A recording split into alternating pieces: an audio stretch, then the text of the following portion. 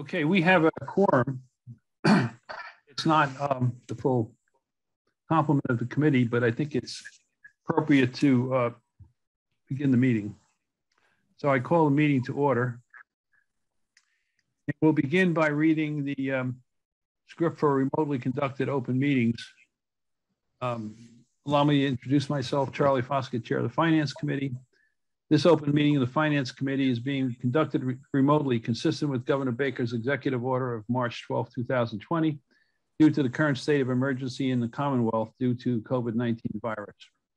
In order to mitigate the transmission of the virus, we've been advised and directed to suspend public gatherings, and as such, the governor's order suspends the requirement of the open meeting law to have all meetings in publicly accessible physical locations. Further, all members of the public bodies are allowed and encouraged to participate remotely. The order, which you can find posted with the agenda materials for this meeting, allows public bodies to meet entirely remotely so long as reasonable public access is afforded so the public can follow along with deliberations of the meeting. Ensuring public access does not ensure public participation unless such participation is required by law. This meeting will feature public comment only in writing by email to tbradley at town.arlington.ma.us.com. And let me interject at this point that we have had a number of um, communications in writing, so there will be public comment. For this meeting, uh, the Finance Committee is convening by Zoom app as posted on the town's website, identifying how the public may join and comment. Please note that the meeting is being recorded and that some attendees are participating by video conference. Accordingly, please be aware that other folks may be able to see you and take care not to screen share your computer. Anything that you broadcast may be captured by the recording. All supporting materials that have been provided members of this body are available, are available on the town's website unless otherwise noted. The public is encouraged to follow along using posted agendas, the posted agenda, unless the chair notes otherwise. Allow me to cover some ground rules for effective and clear conduct of our business and to ensure accurate meeting minutes. The chair will introduce each speaker on the agenda, and after they conclude their mark, remarks, the chair will invite members to make any comments or questions, motions, or debate. Please hold until you're recognized and your name is called. Let me make uh, my normal comment at this point that I uh, delegate to Annie uh, LaCourte or um, Tara Bradley the right to uh, interrupt me if I don't see a hand raised because of the limitations of my screen size uh, on the computer. Please remember to mute your phone or computer when you are not speaking. Please remember to speak clearly and in a way that helps generate accurate minutes. For any response, please wait until the chair yields the floor, to you and state your name before speaking. If you wish to engage in colloquially with other members, please do so, do so through the chair, taking care to identify yourself. um, finally, let me note that each vote taken in this meeting will be conducted by roll call vote. So allow, allow me please to confirm that all the members and the persons anticipated on the agenda are present and can hear me. So members, when I call your name, please respond um, in the affirmative that you're present. Grant Gibeon. Present. Shane Blundell. Here. John Ellis. Micaiah Healy. Brian Beck. Arif Padaria. Sophie Migliazzo. She is here, Charlie. It looks like she's on mute. It, I got it to work. Thank you. Here. Jonathan Wallach. Here. Shailene Pokris. Here. Daryl Harmer. Here. Annie LaCourte. Alan Jones. Here. George Koser. Here. Bill Keller. Here. Alan Tosti. Here. Wanda Nascimento. Here. Christine Deschler. Here. Dean Carmen. Here. David McKenna. Here. Thank you.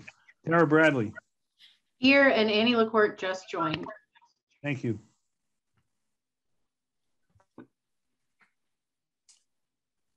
So uh, Annie, you're a designated hitter on the um, recognition of raised hands. Got it. And. John Ellis just joined as well.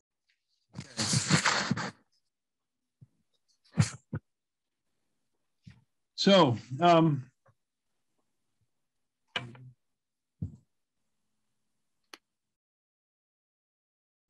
so we have uh, minutes for approval for uh, the 9th and the 14th. Um, so the ninth were approved in our last meeting, and I just got a note um, from uh, Sophie Migliazzo that she has some notes to send me on the 14th minutes. So um, she's asking that we uh, postpone those. Uh, Are there any, uh, any of those comments available to um, make uh, corrections in real time Sure. for the 14th? Yes, I can do that. So um, Tara, are you, do you have the minutes that you could adjust them in real time? Yep. Go right ahead, Sophie. Okay, it was um second page, paragraph six on elections.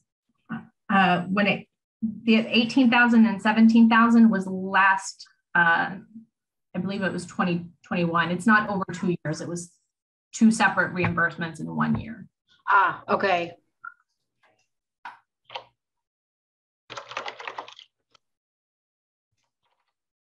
Is that it? Yes. Thank you. Al Tosti. You're on mute, Al. Could you go to item 13? I incorporated your note here. And uh, you also sent in a note about um, number 14 as well. Right, and I was, uh, I was looking to delete the second sentence. I, some 23 budgets include reserve fund monies and the committee is on, I think that sentence should be deleted. I don't know what it means. Uh, 23 budgets cannot have reserve funds in them. Uh, I think we should delete that whole sentence.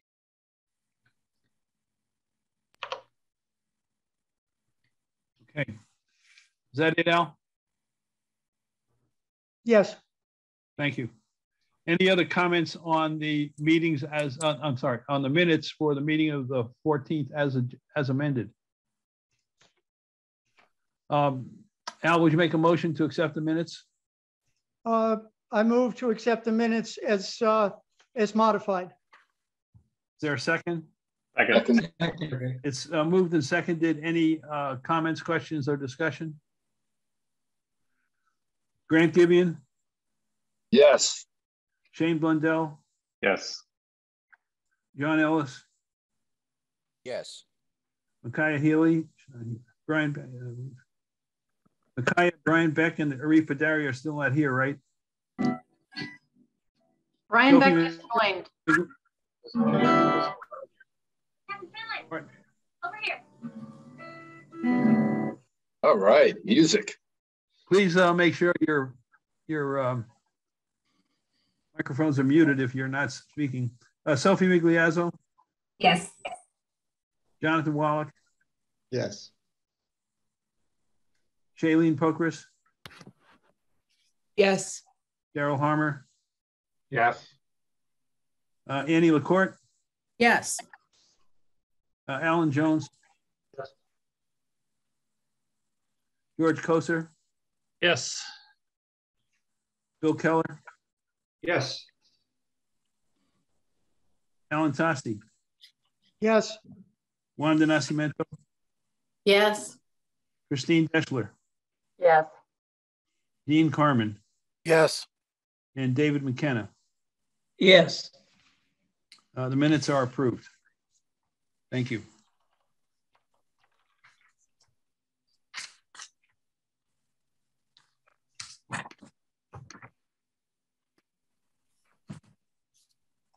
So before we get into the um, budget of the planning and community development, I want to make a couple of um, comments. And um, and actually mostly about that uh, budget.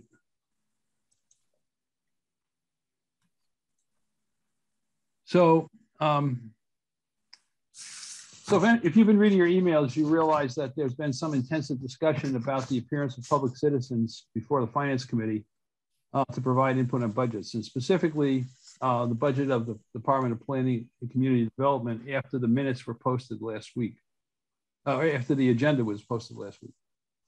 Um, This may, uh, the whole subject may take some time, this, the whole budget may take some time this evening. So I'm making to some, some adjustments to the agenda within the scope of the open meeting law. First, if we run short of time um, in the meeting, we will postpone the warrant review because the copy we received isn't in the best of shape. And uh, I'm expecting that we'll get an, an updated version within the next 24 hours. Uh, I have asked Al Tosti and he has accepted to coordinate the uh, presentation of the warrant with the uh, Board of Selectmen in the Town Counsel. So um, we should see an updated and numbered version very shortly. Uh, Second, um, with respect to the speakers who are members of the public or not members of the Finance Committee in general, I'm limiting uh, presentations to three minutes. Uh, In addition, this afternoon, I sent out invitations to all the people who had communicated to us in writing to offer them the opportunity to speak this evening if they wished. Um, And we had some um, positive responses, which I will uh, speak to in a few moments. My, my constraints in this process are that the speakers must stay within the three minutes unless I rule or offer otherwise. And the second is that proper decorum and civil discourse uh, must be maintained. Some members uh, of the committee and some writers from the public have expressed concern that the finance committee may be wasting its time listening to speakers from the public. I suppose I should be touched that there's so much concern about our time and efficiency, but I think the chair can manage these issues. In my view, we're a body of the public and we are never wasting our time listening to inputs from citizens who wish to speak. Some may think in advance that they do not agree with an opinion that might be expressed by a speaker, but whether we agree with someone or not is not a criteria for allowing them to speak. I have afforded the writers on this subject the same courtesy and follow-up that I, in de- and detail that I afforded a correspondent last year who wanted to reduce the police budget and increase the health and human services budget. In that instance, it turned out the individual ultimately determined that she didn't want to speak to the committee, but the offer was there. As long as I'm chair, under the appropriate circumstances, with advance notice and serious discourse, I will allow members of the public to address the committee on budget items, just as we do on warrant articles. I heard from one person, quote, that people were considering that I accepted these speakers because I favored their position. That is an unfortunate viewpoint, and I find it insulting. Whether or not I agree with a potential speaker is totally immaterial as to whether that wh- whether the person whether a person should speak. Whether the subject is defunding the police, the Department of Planning and Community Development budget, or some other issue, um, people have a right to speak on these. As a committee, we have nothing to fear from the public. And I personally have the highest confidence in both the budget working groups and the committee as a whole, that the committee will make the right decision in the best interest of the town, as it always has done. Uh, I accept the criticism that my choosing seven minutes speaking time was overly generous and unnecessary. But I, unfortunately, I mentally just latched onto a number that I knew the town meeting used without giving it a lot of thought. So uh, with those comments, I think, um, actually, a, we're a little bit early. So I think um, we will get on with the, uh, with that budget, but we'll have to, I think we should wait for another uh, 10 minutes or so. So let's see if we can fit another budget in in the meantime. Um, and on the agenda, we have uh, information technology, treasurer, collector, postage, parking. Um, can we address any of those budgets? Al, Al And, uh, I've got a revision to make on the uh, pension budget. okay, let's let's deal with that. Go ahead. And Charlie, um, Yes. also, sorry, um, uh, Al, Alan Carr Jones informed me today that we need to revote the fire budget because there was a uh, mathematical error. Okay. So let's take um, the change in the um, in the uh, is the non-contributory pension. Yes, Yes. Okay, so we'll do that first, and then second, we'll do the change in the fire budget. Go ahead, Al.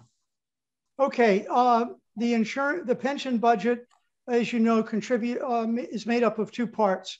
One is the general retirement costs, and the other is the non-contributory pension, which as most of you know, has been in the eighteen or nineteen thousand dollar range uh, for a long time. Uh, the one person that has been receiving this non-contributory passed away last week. Uh, so um, there is no longer a need for an appropriation under the non-contributory pension.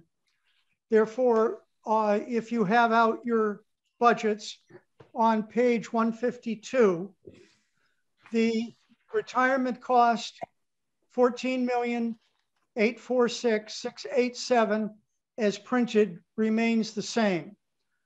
Non-contributory is zero. Therefore, the pension appropriation total now is 14,846,687. The offsets are the same. And the bottom line now is 13,367,833. 13,367,833. Um, so from now on, our contribution to the OPEB fund uh, will be an even uh, 500,000 that we'll discuss when we get to that budget. So I, would like to make uh, that change in the pension budget. Is there a second? Second. So it's been moved and second, seconded. Any um, any discussion? Questions? Well, I'm, I'm sure that person has, has had a long and interesting life.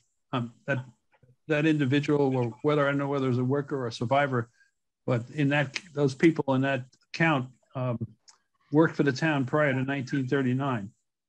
So that's quite an age. Um, so moved and seconded.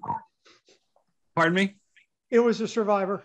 It was a survivor, yeah. Yeah. So um, it's been moved and seconded, and there's no further discussion, so we'll move to a vote. Grant Gibeon, Yes. Votes yes. Shane Blundell, Yes. John Ellis, Yes. Micaiah Healy, um, Brian Beck, Yes. Padaria, Sophie Mig- uh, Migliazzo, Yes. Jonathan Wallach, yes, Shailene Procris, Yes. Daryl Harmer, Yes. Annie LaCourte, Yes. Alan Jones. Alan Jones? You hear me? Yes. Can you speak, Alan? Uh, yes. Thank you. George Koser, Yes. Bill Keller, Yes. Alan Tosti, Yes, Wanda Nascimento, Yes. uh, Christine Deschler.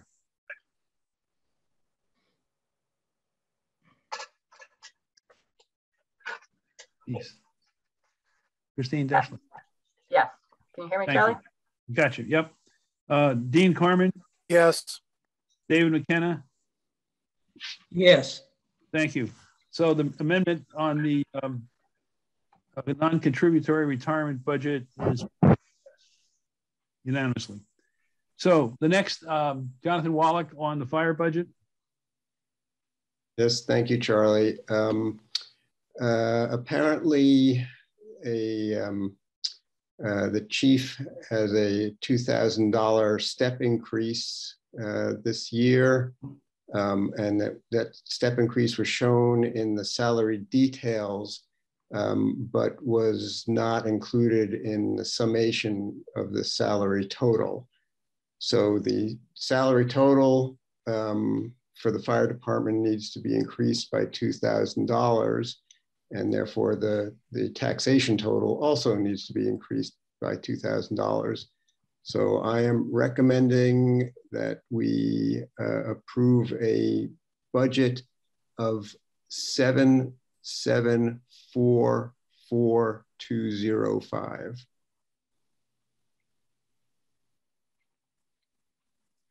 Alan Jones, do you agree with that? Alan I- Jones, Yes, yes, I went back and forth with Sandy about it, and it was just a, one of the usual disconnects between the salary budget and the, to- and the final budget. okay, so um, any questions for Jonathan? So Jonathan made a motion, is there a second? Second. So it's been moved and second for seven million, seven hundred forty-four thousand, two hundred and five dollars as the new fire budget bottom line number. Um, Seeing no further discussion, uh, Grant Gibeon, Uh, Mr. Chairman, Grant Gibeon has a question. oh, Grant Gibeon, yes. Yes, thank you, uh, Alan. Thank you, Charlie. Uh, I was going to take opportunity to uh, mention I did. I don't know whether I need to ask it in this budget or any town budget has the line item of electricity in it. But I did have a question about it based on something I heard last time. Um, and that is these departments obviously, well, I shouldn't say obviously, but the departments I don't believe are individually metered for electricity. Um, so how is that allocated? I can't I- answer that question. I frankly Um, don't know the uh, answer to that question, Grant, but um, I, I have a couple of other questions from the committee that I have yet to put to the chief. And I will add that one to the list. I see that um, Adam Chapdelaine's hand is up. Maybe he can, Indeed, Oh. indeed, I was going to Go right to the source here. Hi, Adam. Mr. Chairman, would you like me to try to address that question? that would be perfect. Thank you. Thank you. I'm- I suppose that's, that's the hazard of attendance, right? You can't, uh, you can't, you can't let the question go. Um, uh, Actually, contrary to what uh, Mr. Gibeon said, each building does have its own meter. So eh, some have more than one meter depending on how large the building is. So for the fire departments in particular, they have their own individual electric meters. So they get their own bills that the administrative staff and the fire department then pay. Great. Thank you. Actually, I uh, corrected and I did not know and gave it the, I said, it- I corrected the obviously because I did not know that they perhaps did have separate meters. So, so each of the line items are uh, tied to an individual meter or a collection of meters. Or the collection of meters for that department, yes. Oh, oh, very good. Thank you. Thanks for your help, Adam. Um, Grant, is that, Yes, I actually, one of the reasons I asked the question is because uh, these gentlemen were in fact on, in the meeting. So yes, it does answer it. Thank you. thank you. Any other questions for Jonathan on uh, this uh, revised budget? Okay, um, moving to a vote, Grant Gibeon, Yes, Shane Blundell, Yes. John Ellis, yes, Brian Beck, yes, Sophie Migliazzo, Yes. Jonathan Wallach, Yes, uh, Shailene Pokris, Yes. Daryl Harmer, Yes. Annie LaCourte, Yes. Alan Jones, Yes. uh, George Koser, Yes. William Keller, Yes. um, Alan Tosti, Yes, Wanda Nascimento, Yes. Christine Deschler, yes, Dean Carmen, yes, and David McKenna. Yes. Thank you. It's a unanimous vote uh, to modify the fire department budget as presented by Jonathan. Okay. Um, I think it's an appropriate time to move to this discussion of the planning and community development uh, budget. Um, I, the, the first item on the agenda was an overview of the citizens' communications, which I pretty much uh, gave in my opening remarks. Let me say that today I sent out about uh, I, I think it was 10, I can't be sure. Tara would probably know, uh, 10 emails to people who had written um, letters to the committee since um, the uh, agenda was posted last Thursday. And I had a discussion with, um, and at the same time, uh, last week, uh, the town manager asked to speak at this meeting as well. And uh, I was concerned about whether or not we might be violating the open meeting law. So I had a conversation with Sandy Pooler, who uh, generously approached uh, town counsel about this because I was tied up in meetings this morning. And if I can just put it in my layman's terms, it appears that um, the requirement for 48 hour notice is on the subjects to be discussed uh, at a public meeting, not necessarily uh, the, the speakers, okay? So um, having had that information this afternoon, I sent out these uh, numerous uh, emails inviting um, the people who sent the emails to speak tonight and um, asked that they respond by um, a time certain and uh, with whether or not they or if they were interested in speaking and they did.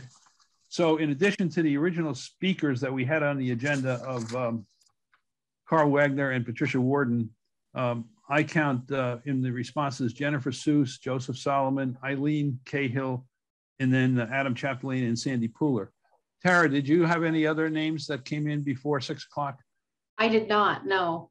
okay thank you so uh, is Carl Wagner? Oh, let me also ask, uh, which I didn't do during the uh, take, taking of the minutes. I, I, noticed that there are some members of the public here that are uh, that aren't on this list of names that I just read. Could you please identify yourselves for the minutes of the meeting? Um, I see Michelle Orfanos.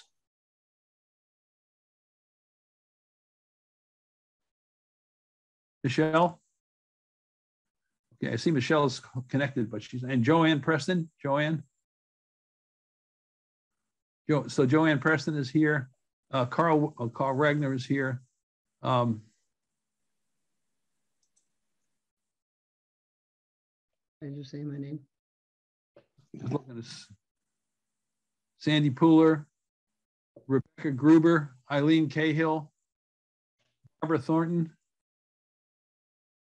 Maureen Nee, Dolores McGee, uh, David Lee, Gina Car Carmi or Carme, uh, Joseph Solomon, Michelle Limp, Jennifer Lovett, Winnell Evans. I think that's it. Is there anyone any visitor whose name? Patricia, Patricia Worden. Oh, I'm sorry, Patricia Worden. Not, well, I did mention her name a few minutes ago. Thank you, Patricia Worden. Altasi, you have your hand up? Yes, uh, I just wanted to ask a question of you, Mr. Chairman, before we start. Um, to your knowledge, as the working group that is going to recommend this budget or any member of the finance committee recommended a reduction in this budget? Not to my knowledge. Thank you.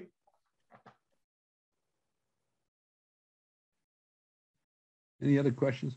Uh, Andy, I would appreciate if you kept your eye on this on the personnel here because I can't get everybody on one screen. No, I'm I'm trolling. Thank you.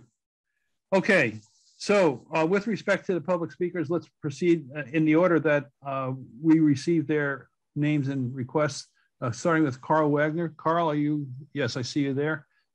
Could you please uh, go ahead and uh, you know contain your comments to within three minutes, please. All right, I'm on an iPhone. Hopefully, you can hear me. I had a little bit of uh, trouble setting up, but anyway, my name's Carl Wagner. I live on Edge Hill Road in Arlington. Uh, thank you very much to the chair and the committee for allowing me to address you following my email to you of, of February 11th, I think. I re would request that you would modestly reduce or freeze the budget of the planning department at the total funds plus CDBG level, grant level of last year. My concern is that the department should be producing internal conclusions based on staff member produced work, except in very specialized, highly technical cases. I believe the staff has a, a, staff of nine or more currently, while our town has been fully built out for years, and while we face a structural problem in our budgets that we need to address by controlling spending better. In addition to frequently uh, paying for consultant studies. The planning department staff appear at nearly all town boards, committees, subcommittees that I've attended, and they seem to have enough time to engage in monitoring public opinion. Instead of that activity, I would ask the planning staff offer their own reports and spend less time appearing in direct public opinion. I've lived in the town 24 years and I grew up here. After I moved back to town, I'm proud to have been a town meeting member for over 10 years in different precincts. And we're all very lucky to have you, the members of the volunteer uh, finance committee. So thank you for that. This town really is of and by and for its people. I never felt I had to pay attention to the planning budget in the past, but recently I've noticed that the use of consultant produced reports has really grown. In addition to the extra cost, using consultant studies seems to function as a way to push through changes without the responsibility for such changes being attributed to department staff. A good example is the housing production plan. This was completed by a consultant who also worked on our master plan. Oops, sorry about that.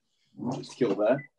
Uh, the, uh, the, the, the problem with it has, has many levels. Consultant uh, did, didn't address a number of Commonwealth required subjects and effects on infrastructure and services weren't uh, considered. And then finally, it produced major decisions that uh, Arlington residents, not planning staff, deserve to be the deciders of. For example, among other things, it called for ending single family zoning.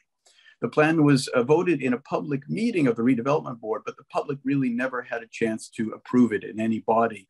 And uh, the final version of the plan wasn't even seen by the public and possibly not even by the redevelopment board. And to everybody's surprise, the final version also got rid of two family zoning, supposedly as a recommendation by allowing three family units. Anyway, the, the, the point I would make is that the, the planning department is paid for by the existing residents and businesses of Arlington. And the, the work it does uh, really has to go along the stated goals of those in town meeting, the people who are elected on the select board, and the people who live here. The, the, plan, the planning department really should be working better so that it's for the people of Arlington and doing the work of those people only. Thank you very much. Thank you, Carl. Uh, the next uh, presenter is uh, Patricia Worden. Ms. Worden, Mrs. Worden? Um, thank you. Um, Mr. Foskett, can you hear me? Yes, we can. Thank you very much. Patricia Worden, Jason Street, town meeting member, precinct eight. Thank you for the opportunity to speak.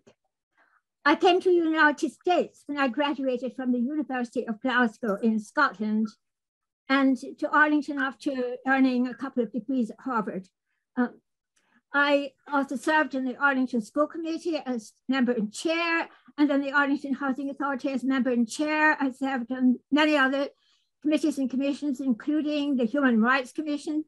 I can tell you more about myself later on, but I want to stick to my three minutes. So tonight, I urge you to take special care with the effects of the planning department's budget on the town, particularly with respect to their major goal which is to drive up residential density. The alleged reasons for this drive to maximum density are twofold. First, it would increase affordability, but that is false. It will, and indeed is even now, decreasing affordability. The second alleged reason for the drive for thousands more residential units is that it will increase diversity, but that also is false. It will decrease diversity drastically and with expected gentrification. I believe Ms. Cahill has already sent a letter for your consideration pointing out damaging effects that drastic density increases can have on infrastructure and, over, and, and sewage and overwhelming such structures. I am dealing with only one, only one crucially important issue, which is the effect of increasing density on school costs. Our five children were educated entirely in the Arlington public schools, and one of our 13 grandchildren is currently in the system. So I know Arlington public schools well. It takes a lot to ensure good education our school budget is increasing faster than other budgets. Already the outlook is for increased taxes and humongous overrides. Driving up residential density could exacerbate school costs greatly. New elementary schools may be needed at around $50 million each. Please consider the increasing tax burden the planning department's outsized budget and staffing will have enabled if their relentless drive for thousands more residential units is successful. Please scrutinize their somewhat um, oversized budget. We don't want. Mrs. Worden, uh, your time is your time is up. Any more residents of modest means. Thank you very much. Thank you. You're welcome. Uh, the, the next speaker is uh, Jennifer Susse. Jennifer? Yes, um, I see Al Tosti has his hand up. Do you want me to? hang on one second, please? Um, yeah. Al Tosti, do you have your hand up? Yes, I just wanted to ask a quick question of Mr. Wagner. Uh, let's wait until all the speakers have presented, if that's all right. Well, it just, I, I didn't hear of any changes to the budget, which is the only thing before us. If he doesn't want to make any changes into the budget. Okay, Al, I, I, I've, I've allowed them to speak. Thank you. Um, Jennifer, sorry, I didn't mean to interrupt you. No worries, no worries. Um, uh, thank you for giving me the opportunity to talk. Um, uh, Arlington is blessed with having some really good people who work in the departments, uh, professional people, um, as I'm sure you know, um, despite the fact that they don't get a top salary as much as some other towns. I mean, we are really blessed with that. And I think that has a lot to do with the respect that they feel, both from the town manager and from the finance committee. I think this has been a body who has shown our professional staff a tremendous amount of respect um, for their professionalism. And I worry that this move, this feels very different, that the move to cut a department for what seems like ideological reasons will have ripple effects throughout many other departments um, and will lead to losing some really good people. Um, and I don't think that's what we want. Uh, so I'd urge you to not um, cut a department because of not liking certain things uh, that, that they're doing. Um, I also just want to speak to a couple more things. Um, one is on my work in the school committee, um, you know, as the population grew, we didn't always add things equally because sometimes there was a need in a place that didn't exist 10 years ago. And so the fact that the planning department has added positions in light of different kinds of needs that we have, um, different kinds of needs that the residents are frankly asking for, um, makes a lot of sense to me. Um, and I think that those decisions were made carefully over many years with lots of consultation between uh, this committee, the uh, town manager's office, professional staff. And again, I just urge you not to sort of undermine that relationship that I think has been really positive and really good throughout the years. Um, just wanted to mention one more thing. Oh, uh, the the housing production plan I think is very good. I saw it a couple months before. It's, it was on the town website for a couple months. Um, it was promoted heavily. Uh, it, this wasn't done behind anyone's back. Um, I know, and, and, it did not stipulate that any particular action get taken. Any zoning change we make has to go through the planning department, I mean, planning department, uh, redevelopment board, town meeting. Um, so even if we have a consultant who's recommending a choice of action, that doesn't mean that that action sort of automatically takes place, which I sort of sounded what, what uh, Mr. Wagner was suggesting. Um, so that's it. Uh, third thing is we have a great school system. It's um, the elementary schools are actually at their peak as of last year. Um, so we have some space there. Um, and uh, yeah, just urge you to not sort of make a motion, a move that would undermine the relationship that I think has been carefully developed over the years. Thanks. Thank you, uh, Jennifer.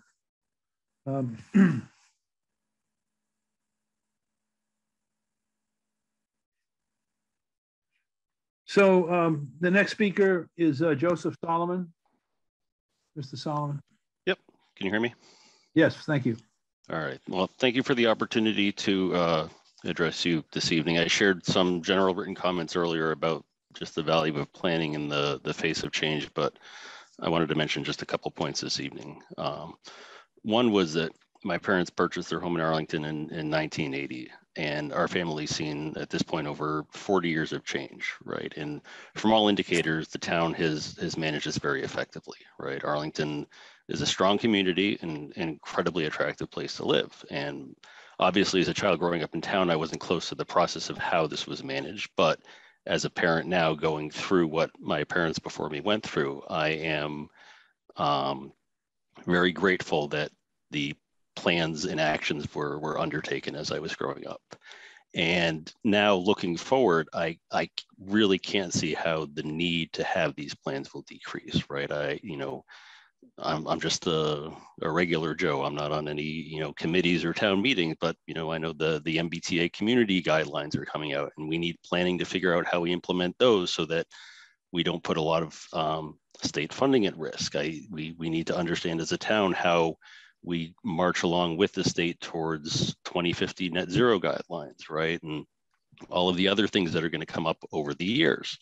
And if we aren't prepared for these changes, the town will fall behind and the progress that we've made will will be at risk. So my my concern is that by any um, holding constant or reduction in, in the planning department's funding, uh, it, it puts the ability of Arlington to continue its excellence at risk.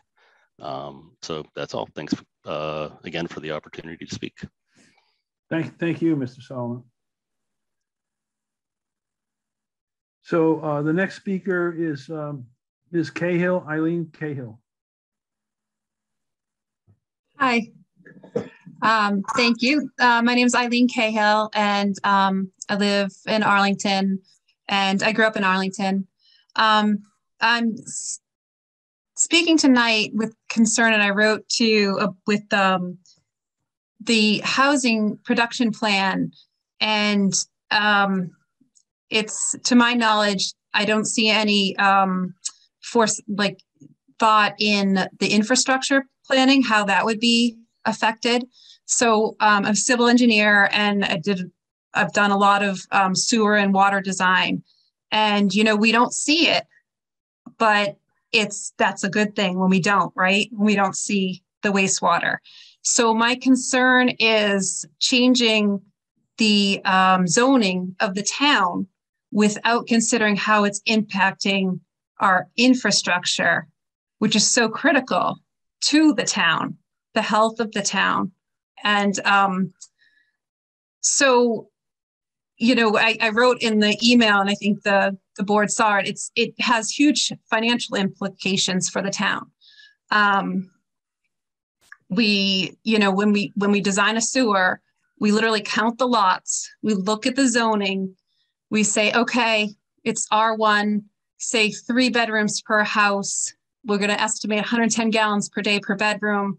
I mean, per house, uh, yeah, per bedroom. So 330 gallons per day. And that's how we size the sewer. And throughout the town, there are, um, you know, this is this is an old community, so we have old infrastructure.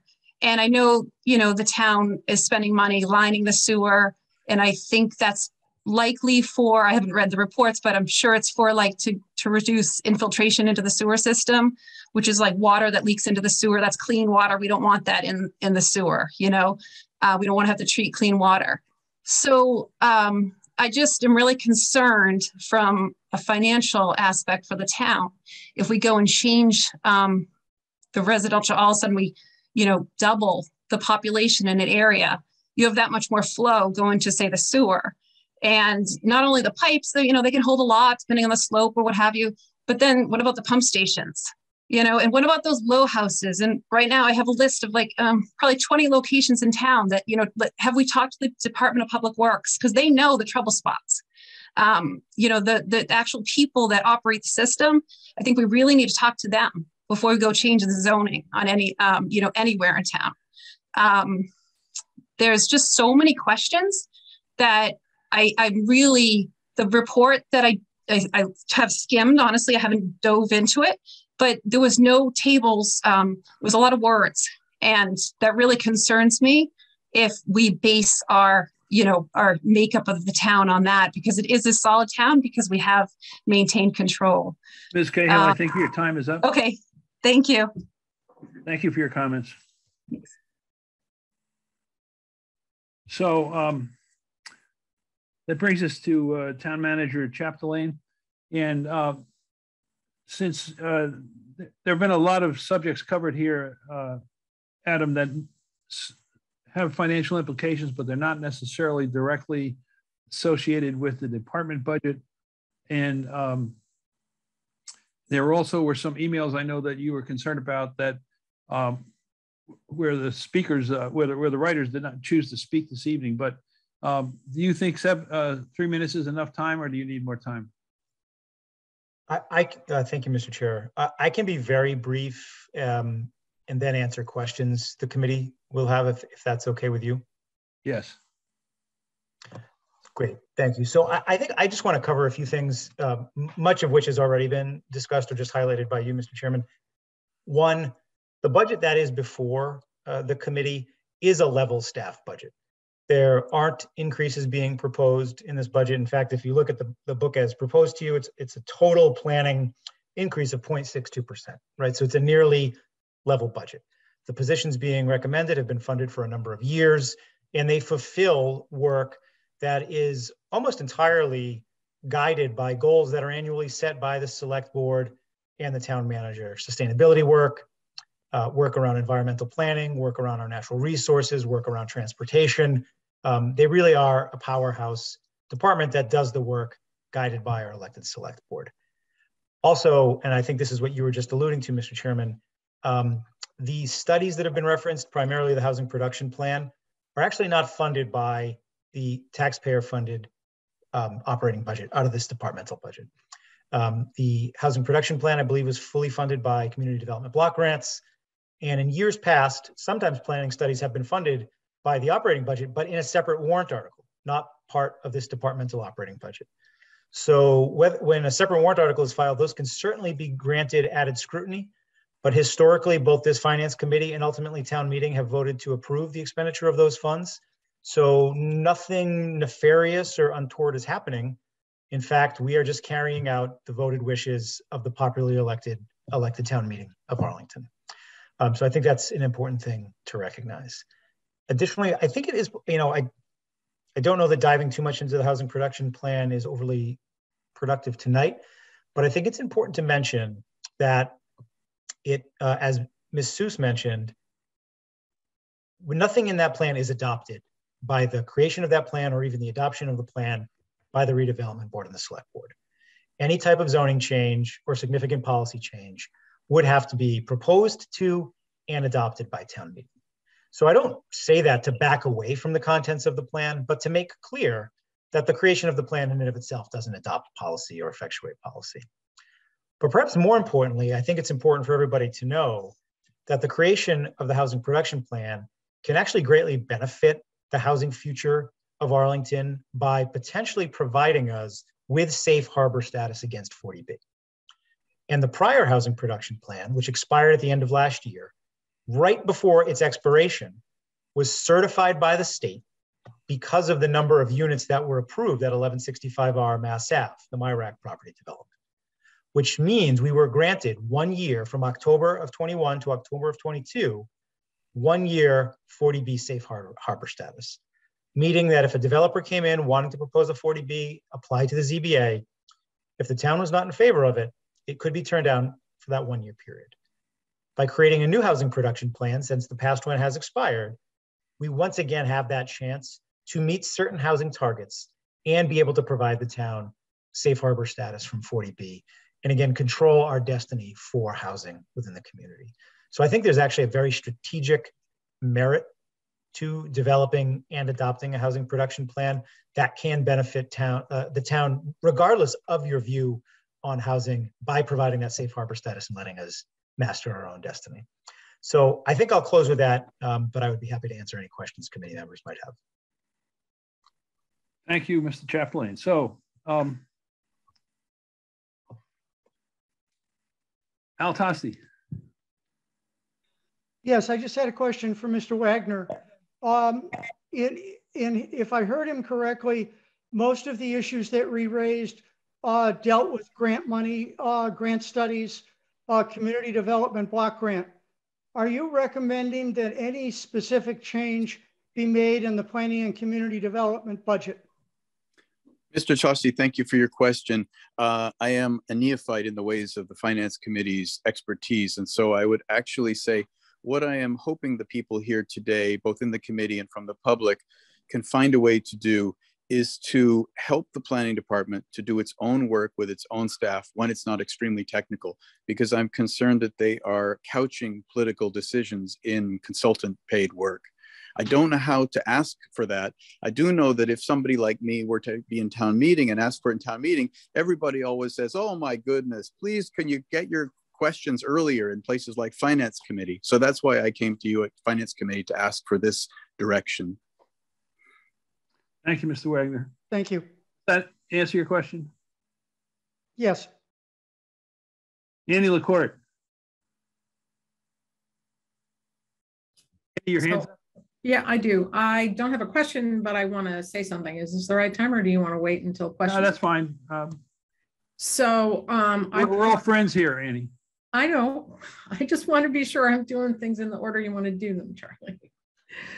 Um, so based on some of the issues that were raised in the correspondence that we received and based on this, um, in particular, this uh, suggestion that somehow we rein in um, funding for studies that are grant-based, um, I provided to all of you, and it's in SharePoint, the CDBG draft uh, year 48 proposal. And I just want to say a couple of things about how CDBG works since I sat on that committee for seven years when I was on the select board. So CDBG is direct federal funding. It comes to the town manager and the select board. There is a subcommittee of the select board uh, in combination with the CB, CDBG administrator, and I believe the chair of planning and perhaps a fifth person that uh, reviews that process and um, sees those proposals and is uh, uh, tasked with um, determining what to fund. The CDBG grant comes in four categories. We have restrictions on how much of the total grant we can spend in each of those categories. I believe at least two of those categories are restricted. Adam could probably fill us in about whether the other two are restricted or we can put as much money into them as we want. And those include housing, public facilities, a, a sort of a, a public benefits section and planning. And if you look at the material I sent and you look at page two, which lays out the requests and the plans, you will discover something that those of us on the CDBG committee struggled with every year, which is that the section where people are asking for support for social services, things like hockey scholarships, after school programs, so on and so forth, is always oversubscribed. We can't spend as much money as we are requested to spend. And there is a section of that budget that we are allowed to spend on planning. And that supports certain standard activities of the planning department, not least of which is the CDBG administrator.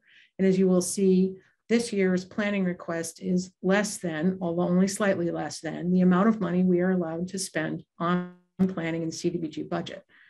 And then there are requests in the other two categories. I'd like to point out that I believe, and again, Adam could confirm this or deny it, that if we do not spend the money and we only spend the money based on people requesting it, if we don't spend it, we have to send it back to the federal government. So given that we can't fund more than a certain amount of the one oversubscribed budget, and we only have requests for a certain amount in the other categories, otherwise you would see those categories oversubscribed as well.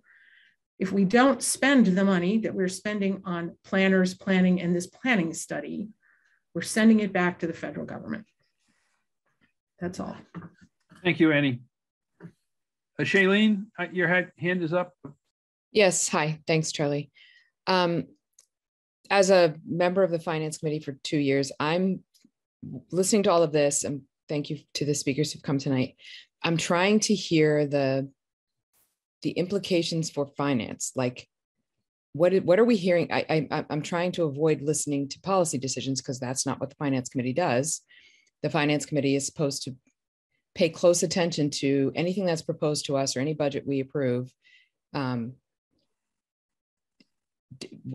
does it have any long-term effects down the road for example on like budget increases. And the one thing I heard, and I'm I'm actually this is more of a comment. I'm asking my fellow committee members to maybe comment. The one thing that I heard was from Ms. Cahill about um, infrastructure, particularly sewage in that case. But um, if we're being asked to fund a level budget, that generally seems like the right thing to do, right? So I'm just talking out loud so that my fellow committee members can can give me more information in case I'm missing something. But there is a concern based on Ms. Cahill's comments in particular that we may need to put forth a finance committee memo or something that says, hey, you know, these uh, plans could affect infrastructure budget, particularly in sewage. That's that's my comment. Thank you, Shailene. Anybody have uh, any comments for um, Shailene? Any committee members have anything they want? So I, I have a comment along those lines, Charlie. Um, So Go ahead, Andy, briefly. Briefly, the housing production plan is a policy document that has been endorsed by the ARB and is before the select board, but has not yet been adopted by them. It suggests strategies, none of which need to be implemented, but all of which become tools in the toolbox to reach a housing production goal. It is a long-term plan. We are not going to double the population of Arlington or the number of units in Arlington tomorrow or in five years or probably in 10 years.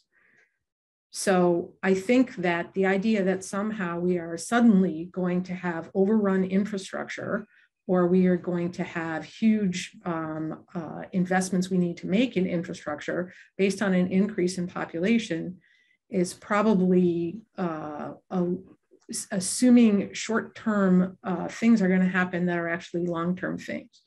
I'd also like to point out that we have 43,000 people living in Arlington, and at its peak population, Arlington had a population of 53,000 people. So it would seem to me that since our infrastructure was able to handle 53,000 people in like 1975, that it's probably capable of handling 53,000 people in 2025. Thank you, Annie. Uh, Al Jones. Um, I just sort of uh, want to echo Shailene and, and thank Ms. Cahill for offering her uh, expertise and bringing up the concerns. And although the Finance Committee is probably not the right venue for it, I, I, do encourage you to, to ask these same questions in front of town meeting or any board that's considering adoption of the plan, uh, just to make sure that infrastructure capacity is addressed as a concern. Because I, I, I, think you're absolutely right. Um, probably the wrong venue, but thank you for bringing it up and, and uh, continue to do that. Thank you. Uh, David McKenna.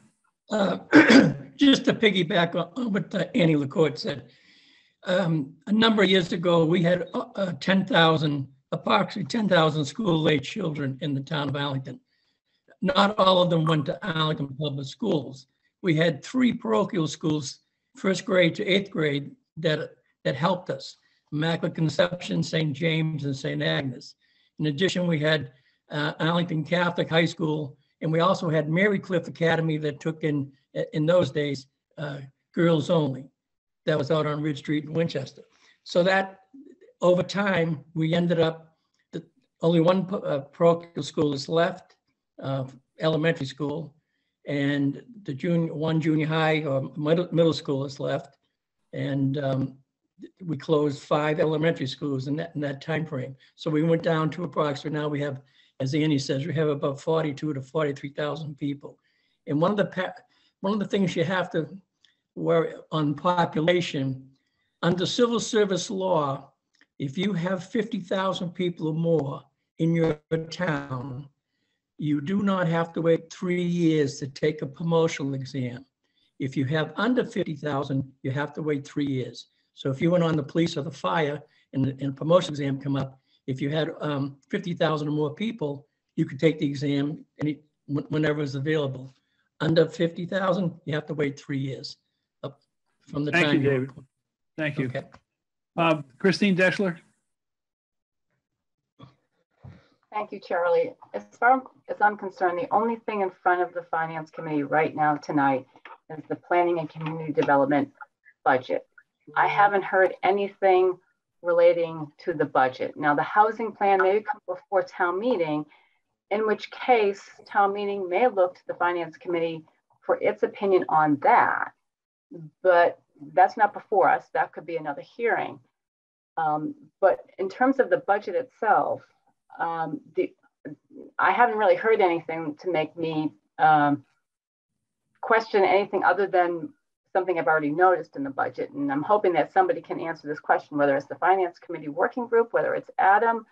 Um, and that is why is the salary line going up 10%? Adam? Yeah, absolutely. Thank you, Mr. Chairman. So the, the primary driver of that, so there, there are step increases um, for, for staff members, but the primary reason that it's going up by such a large amount is that this is the first year that we have in this budget book reported the CDBG administrator's position. So the CDBG administrator's position is reported up above in the planning salaries, but then is entirely offset in the offsets. So there's really no increase in spending. The CDB administrator position has existed since we've received CDBG, so 35, 30, almost 40 years. Um, it's really, it's, it's accounting and not actually any budgetary increase. Thank you. You're welcome. Thank you, Christine. Dean, did you have your hand up before? I did, but then Shailene and Christine said everything I was going to say. Okay, good. And Then once you don't have to Christine said it. I stopped. I put it down. Okay. Uh, John Ellis. Uh, thank, thanks. Um, I, want to ask a planning related uh, question because the um, economic development position is in the planning budget and the town manager is here to speak to it. Um, Arlington gets about four or five percent of its total revenue from commercial uh, tax uh, expenses. The 12 towns that we compare ourselves to, the average about 15%. Um, so given the low commercial tax base that we have, um, and something that people have alluded to about increasing the housing stock as part of these housing plans. Um, does the town manager have some kind of um, uh, estimate for, as time goes on, um, how much of Arlington's town budget um, might be commercial revenue? Is there any chance to increase that percentage, or should we expect as the housing stock increases to have an ever lower percentage of our revenue coming from commercial? Mr. Chapdelaine, would you like to answer that? Yeah, I, I will. I will do my best. So I, I think it, it is a hard question to answer with certainty because of the built-out nature of the community.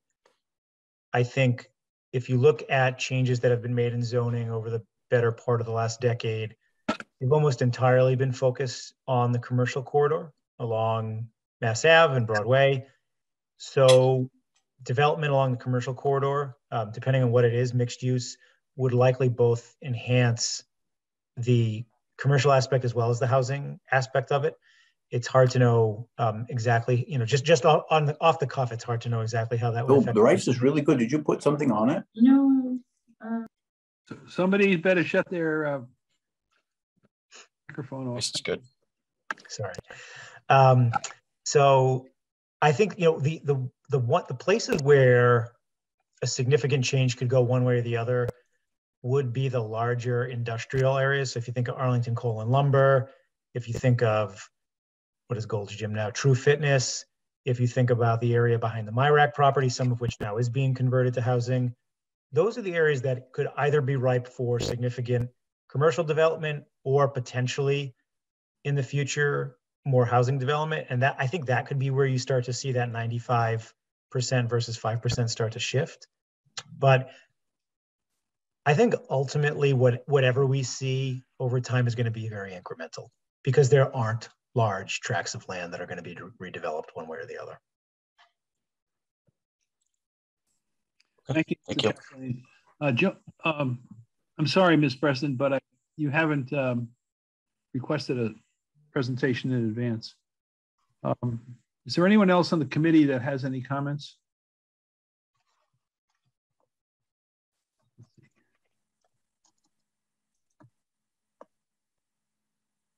No hands. Okay. So let me, um, I'd like to make a couple of comments.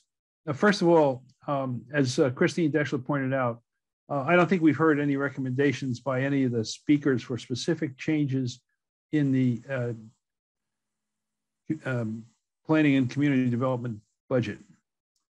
Uh, secondly, there's been a lot of discussion about the housing development plan, which um,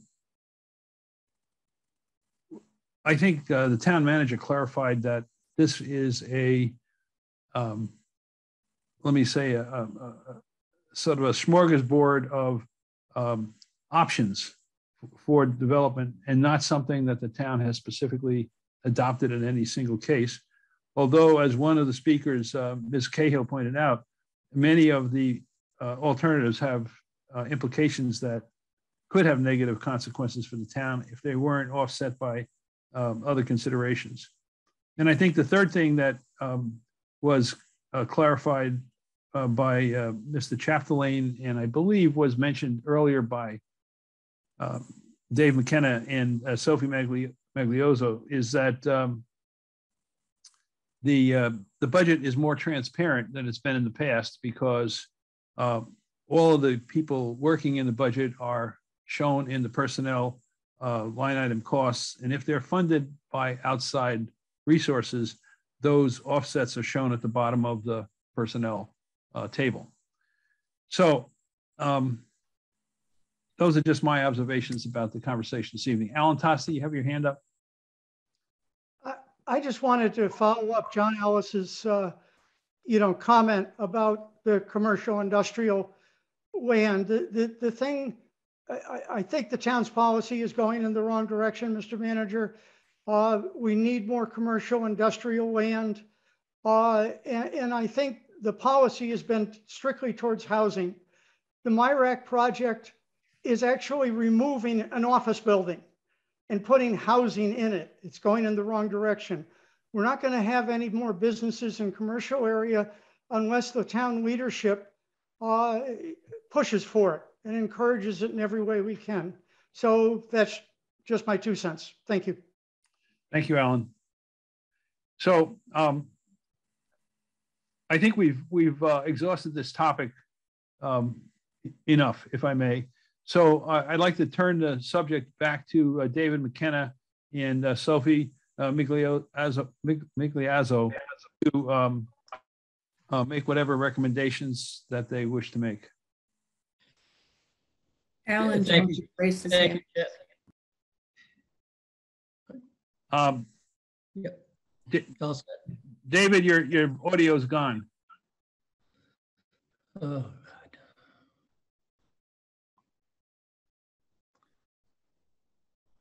How about now, Charlie? Now we can hear you. Yes. Okay. Um, I- I'd like to have Sophie make the motion where Sophie presented the budget, and I will second the motion, whatever Soph- Sophie desires. Sophie? No problem. And Charlie, um, I think Alan has a question. His hand's up. Do you want to do that first? Oh, Alan Jones. Yes. I'm sorry. Not a question, but just, uh, uh, this doesn't show up in the manager's budget book, but in the finance committee record, there's a history of the offsets that are broken down. And there used to be a CDBG affordable housing offset around $12,000, uh, which looks like it's disappeared in the manager's book. I clarified this with uh, Jolie today. It's actually been rolled into the CDBG planning offset. Uh, so I didn't want town meeting members to think that the housing, the affordable housing offset has gone away. So that'll be uh, brought out in, in the finance committee report to point out, hasn't been brought away, it's just moved to a different line item. We should make that a footnote. Yeah, it'll be a footnote, thank you. Yes. Yep. Go ahead, Sophie. Thank you.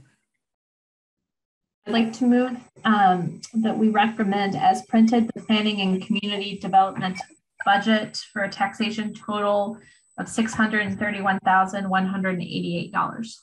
Second. Is there any further um, discussion on this budget? Okay, hearing none. um, We'll go to a vote. Uh, Grant Gibeon, Yes.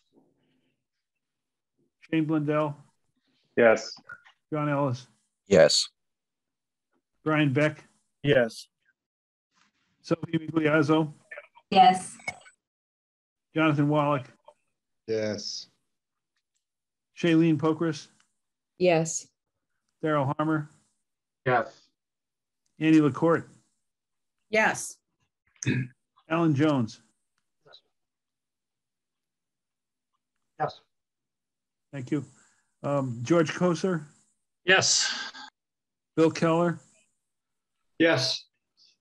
Al Tosti, Yes. Wanda Nascimento, Yes. Christine Deschler, Yes. Dean Corman, Yes. and David McKenna. Yes. Thank you. The uh, budget is passed uh, as proposed uh, unanimously. I'd like to thank all the visitors tonight who took the time to come and speak to us. We appreciate your comments and your viewpoints. Um, And uh, we appreciate the uh, support and interest of the town manager and deputy town manager as well. Thank you very much. So, um, the next subject is the, um, the warrant review, which I think I, I, as I said, I think we'll postpone that because, um, it's just, um, not, it will, it will be in better shape if we wait until we get the improved warrant, which I hope will be by Wednesday night. Um, so the first budget would be information technology. Al Tosti, who's got that budget? Uh, Bill and I have it. Um, Okay. So uh, I sent out an email, or Tara sent out an email that I forwarded to her, uh, forwarding an email from the IT director uh, on the uh, changes that um, I guess we convinced her to make. Uh, so I'd like to go through the budget on page 34 and 35. Al, Jo- Alan Jones, can you display that, please?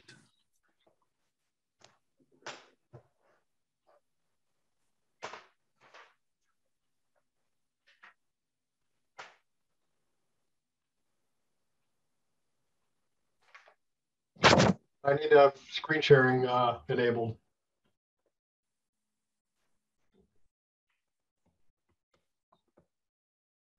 Okay, you can try again. Sorry about that. Okay, no problem.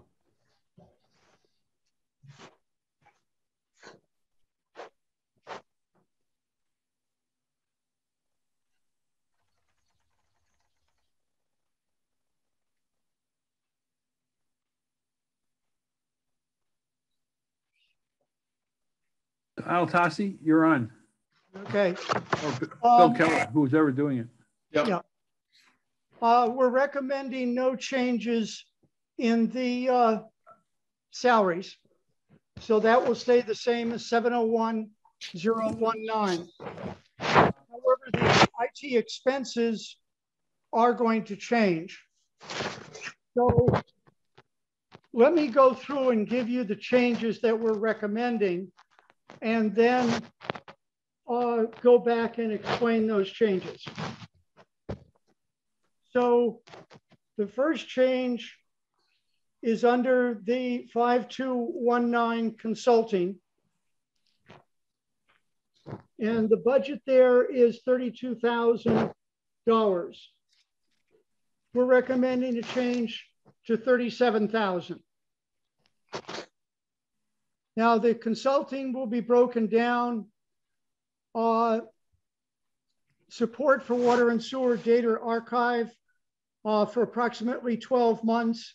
That's about 5,000. That was basically cash transferred from another line item.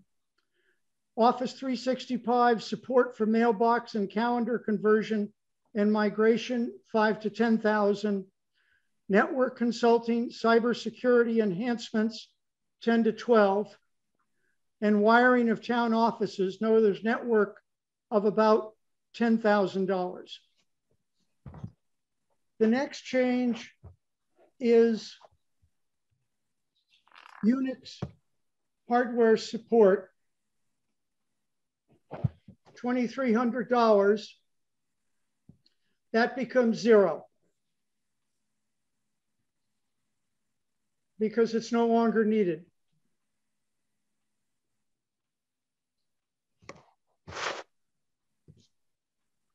Informix maintenance of $7,000 becomes zero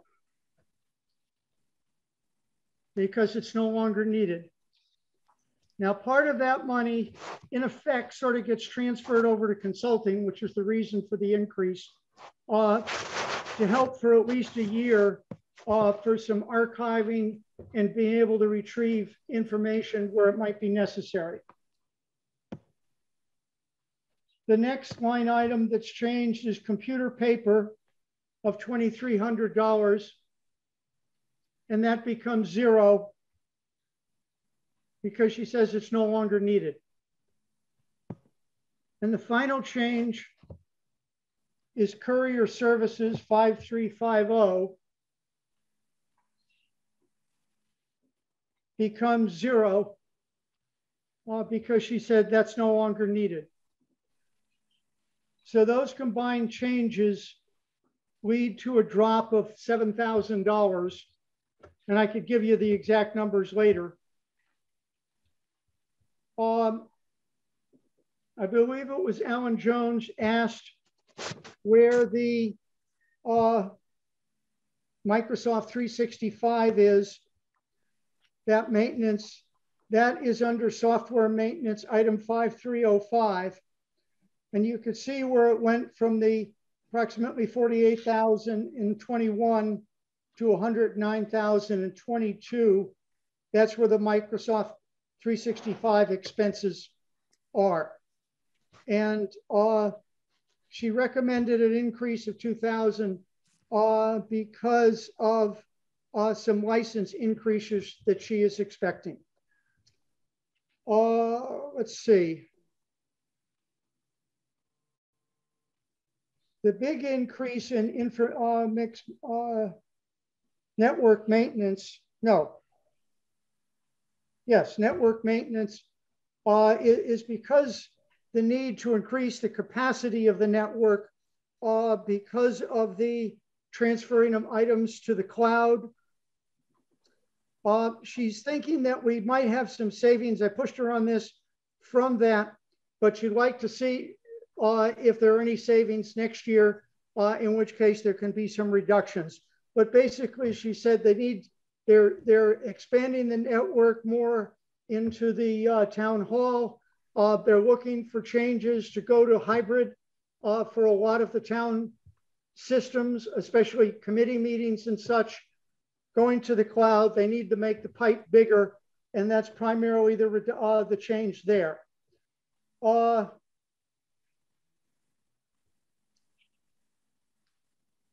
I think those were the major questions and the major changes. Um, water and sewer going to Munis from the old system is going to be live in March. Um, they've made all the changes, they've tested it, uh, and March is the date. Uh,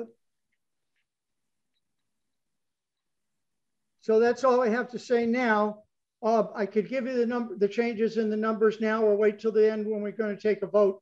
Uh, up to you, Mr. Chairman. Uh, we can wait till we're at the end. Okay. Any questions for Al and Bill? Um, can you, um, somebody, uh, Annie, if you got your eye on the. Alan Jones has his hand up. Alan Jones. Yeah. Thank you. Um, uh, I, am glad to hear where the, the 365 funding is. And in terms of the consulting budget, I'm actually surprised that uh, it isn't more for, for the email conversion because that, that's a huge job. Uh, but my question is, was there much discussion about um, security and the increased need for security uh, against all, all the threats that are coming in? Uh, so any, any, you know, I didn't hear anything specific about uh, security uh, increases. Well, one of the items under consulting in the in the email we sent out was network consulting. And she just said cybersecurity enhancements. She mentioned MFA. I'm not quite sure what that means, um, but 10 to 12. Multi-factor authentication. Yeah. So uh, about a third of the consulting is for security enhancements. We, we didn't discuss Ukraine. Our discussion was over a week ago. Yeah, okay, I just read about Tewksbury, um, you know, with a phishing thing costs about a hundred thousand dollars. I think it was Tewksbury. So I just want to make sure we're paying sufficient attention to that. Thank you. So that was uh, one of the specific things that she mentioned was a system called Barracuda, and uh, that's uh, set up to catch um, any information that uh, would maybe go elsewhere and scans the information on the computer. So uh, it also works so that an employee could work from home and also have the same uh, anti-phishing capability from their home computer that they would if they were in the office uh, per se.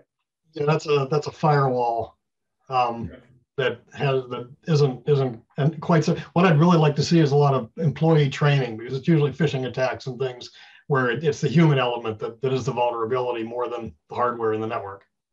Thank you. Annie LaCourte. Yeah, just apropos of the same subject of security, um, I did have a discussion over the summer with Sandy Pooler uh, regarding this and regarding the fact that, um, you know, we're seeing these kinds of increased and more sophisticated threats and that they're often uh, attacking vulnerable uh, institutions, municipalities being one of those vulnerable institutions because they tend to be technologically behind. And and um, Sandy is says the town is very much in, aware of these problems, has experienced some of them, keeping an eye on security, and is working with other municipalities for everybody to stay abreast of, you know, what needs to be going on. So I think that's part of why they have a security consultant coming in, and um, I don't think anybody's asleep at the switch about this. Um, and then I would just like to say one more thing about Informix maintenance and so on and so forth going away, and that is hallelujah. I'll second that. Thank you, Annie. Um, let's see, any other questions here? Oh, Shane. Thank you, Charlie. I have a strange question, but we don't need computer paper anymore. I guess, I, how does that work? I, I think what she's doing in some of these cases is they're, they're trying to consolidate some of these accounts. And I think that, you know, specifically um, you're seeing computer supplies, that's still $6,500. So I assume what she's doing there is uh, trying to print out less paper and uh, she's still got $6,500 there in computer supplies and uh, repairs there. So I, I think there's, there's probably some paper built in there. Thank you. Any other questions?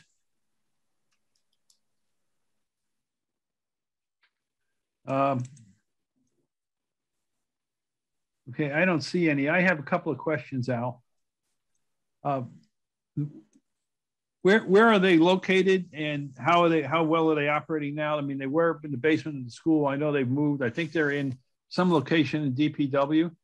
Is that are they functional there? Uh, to tell you the truth, I don't think the discussion ever came up. Bill, do you remember? Um, no, there, there's some talk about um, moving things to the cloud versus having a, a, server on Grove Street, but I don't think that directly answers the question.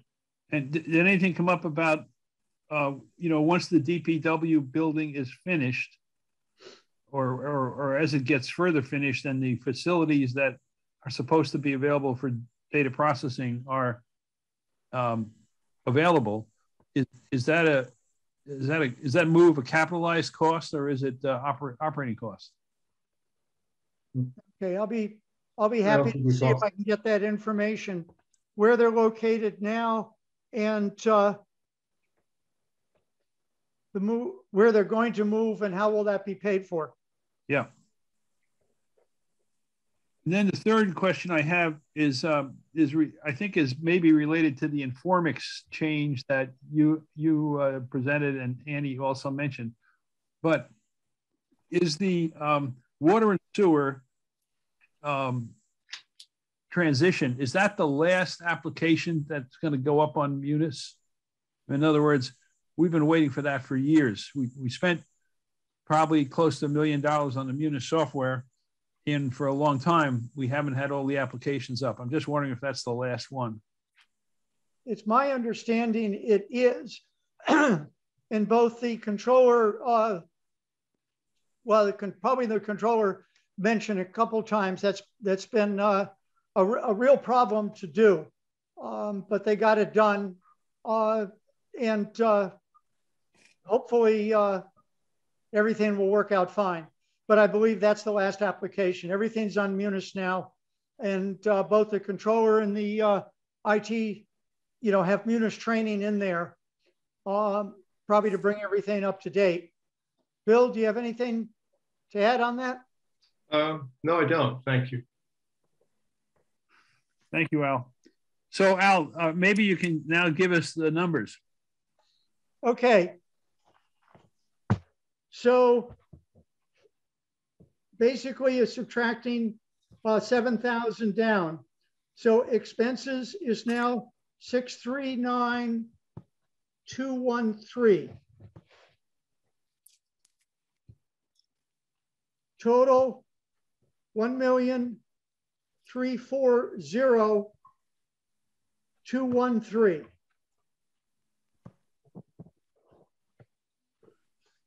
So Al has moved the total expenses of um, one million three hundred forty thousand. I'm sorry, total uh, budget of one million three hundred forty thousand two hundred thirteen dollars in the IT budget. Okay, minus the offsets. Oh, minus yeah. For a bottom line of one million one zero zero six zero four. That a motion? Al? Yes. Is there a second? Second. Second. So it's moved and seconded. Uh, any further discussion on the IT budget? Uh, hearing no request for further discussion, um, we'll move to a vote. Grant Gibeon? Yes. Shane Blundell? Yes. John Ellis? Yes.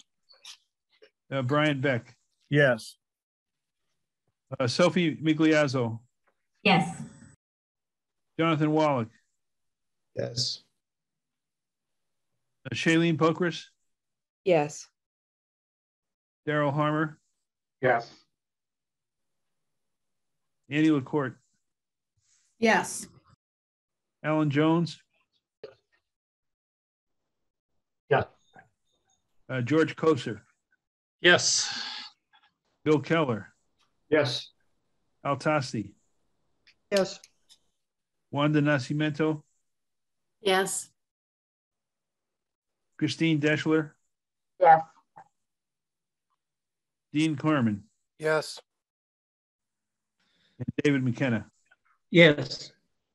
So the uh, IT budget is passed unanimously. Thank you very much. Um, the next budget, uh, treasurer collector is also Al, you and uh, Bill and and uh, We, Brian. uh, that's not- going to have to wait. We have not met with the treasurer collector on her budget of the parking and the postage budget. Uh, we will try to get that done as soon as possible. Uh, the uh, insurance budget, of course, is the one that we have to wait until uh, mid-March uh, after the rates come in. Okay, so let's see if I have this right. Um, so you, you you don't have treasurer collector postage and parking, right? That's I- correct. We knew about the um, about the um, insurance. So uh, Yeah, if I may, I think, um, I think Brian mentioned that he's, uh, in the process of trying to get an appointment with the treasurer someday, uh, next week. I, I sent I, I sent her an email today because I just I just got back from my uh, vacation. Okay, so um, can you get together with? So we- we won't have this budget on um, on Wednesday, is what you're saying, because you haven't met with them yet, right? Correct. I'm, I hope to get a meeting with her this week. Okay, can you uh, get together with uh, Tara, uh, perhaps by the next, um, you know, by by Wednesday night, and let us know when you think you'll have that budget available? I'll let I'll let you know. Okay, thank you. Um, any other budgets that anybody has ready for this evening?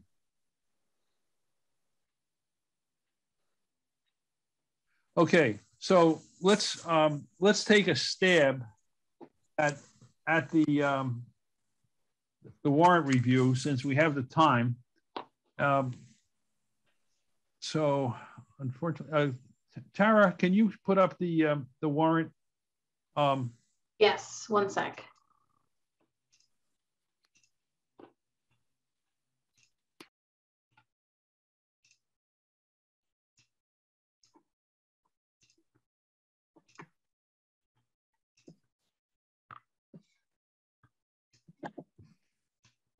Can everyone see that?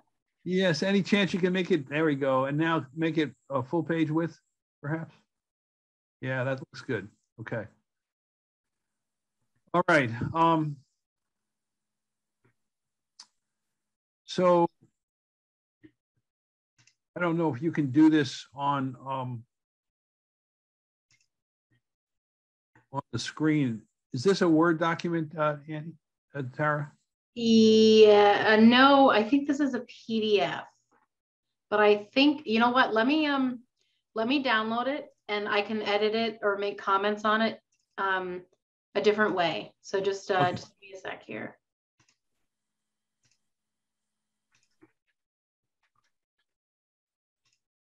Oops.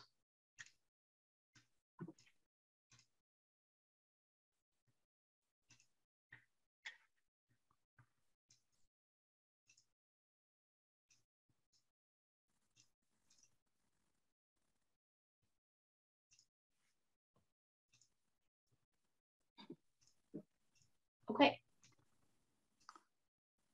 Okay. So, um, any chance you, there we go, perfect. So let's, uh, what I, what I would ask is that, um, we just add a number, you know, we'll call it Tara's, call it T, T1, T2, T3 or whatever, um, next to, when we get to any articles that are not numbered. Okay. Going to the first, next page. Next page.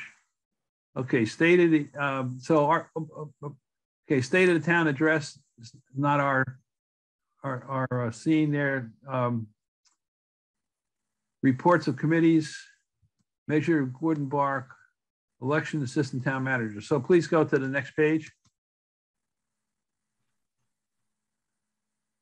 Okay, Article six, bylaw amendment, updating the Human Rights Commission bylaw. Um, that doesn't look like a finance committee article. Does anybody think we should be reviewing that? I don't hear anything. Okay, bylaw amendment and young adult advisory board. So why don't you call that uh, Article T7, Tara?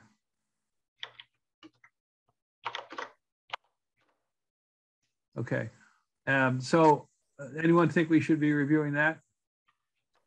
Okay, um, uh, the next article is the bylaw amendment for the Civilian Police Advisory Commission. Um, I don't think that's a financial article. Anybody have any comments on that? Since I'm looking at the screen here, um, and I can't see necessarily see all of you at the same time, just speak up if you have a comment, okay? So that's, uh, this should be T8. The next article is uh, bylaw amendment, achieving net zero greenhouse gas emissions from town facilities consistent with the. town- Charlie? Yes. Sorry, just because you said to Oh, interrupt. Shailene, go ahead. I did, I did have a quick question on the Police Advisory Commission. Yes. Um, I think we heard a couple meetings ago that there are some statewide initiatives in a similar vein. Um, and just, I had a similar thought about that to when I just read this warrant article, is whether we could, as a committee, look into whether there are any financial implications for that advisory commission. Maybe someone here knows that there aren't going to be any financial implications on article, uh, I think that says T8. But I'm just interested because uh, we're going to keep, we're going to keep hearing about police. It's Mhm. going to keep coming up. So I think Daryl, do you have any uh, uh, inputs on that or observations?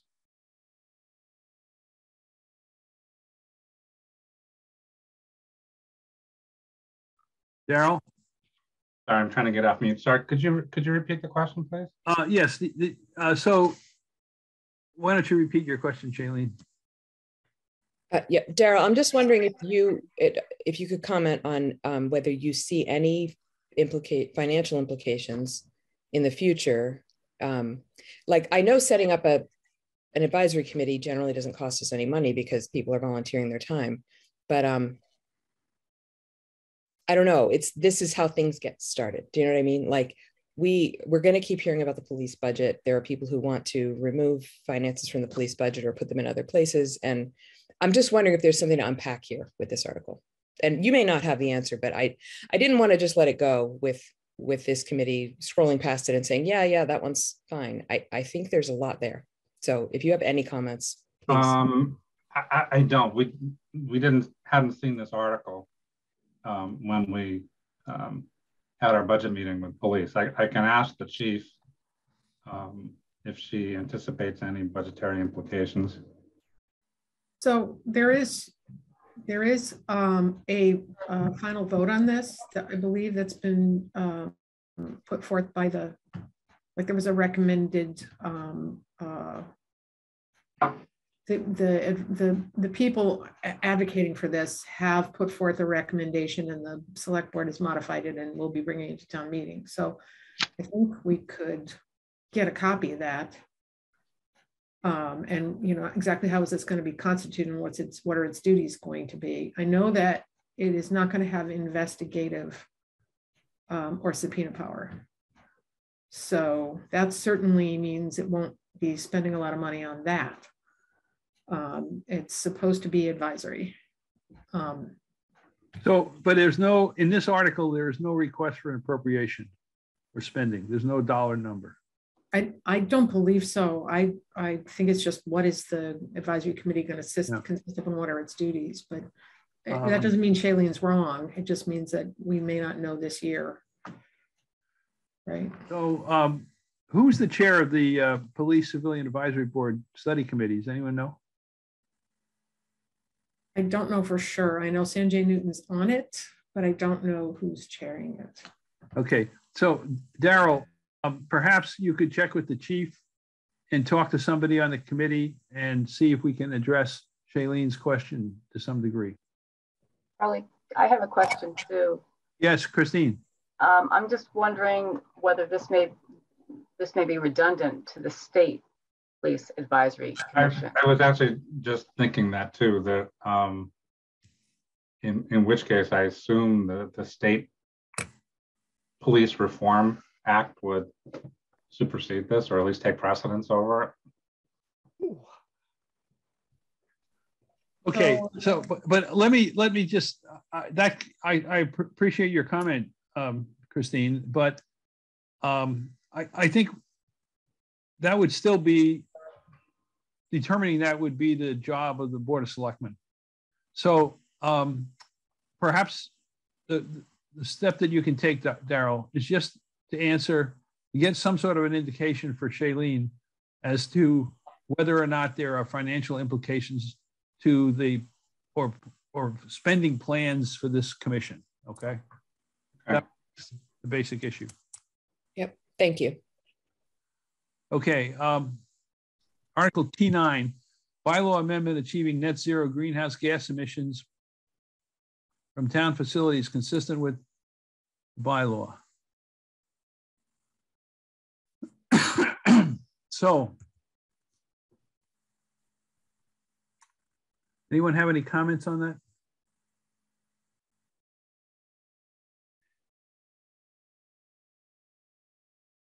It's not an appropriation article. Charlie, uh, would that affect you in the capital planning in the sense that? Well, I, I think you're right. I, I, was about to say that, Brian. So, um, Jonathan, could you, before we decide whether or not to have a hearing on that, could you um, dig into it a little bit and find out if what what impact this is going to have on a on the cost of our buildings? Um, I can certainly do that. Yes. And, will, and there's two there's two categories here. One is um, new buildings, And the other is existing buildings. You know, what, do we have to go back and renovate buildings or, or whatever? Okay. Okay, I, I can uh, check. Um, I'll first touch base with Sandy, see what he's knows about this. Okay, great. So Tara, why don't you make a note on T9 that um, Jonathan's going to look in- into that? Thank you, Jonathan. Um, Bylaw amendment, tree preservation and protection. Okay. Um, John Ellis, do you know anything about this?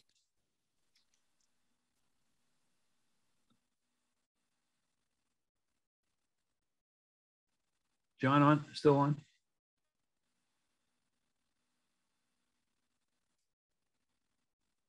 He's still there, but he's, he may have stepped away.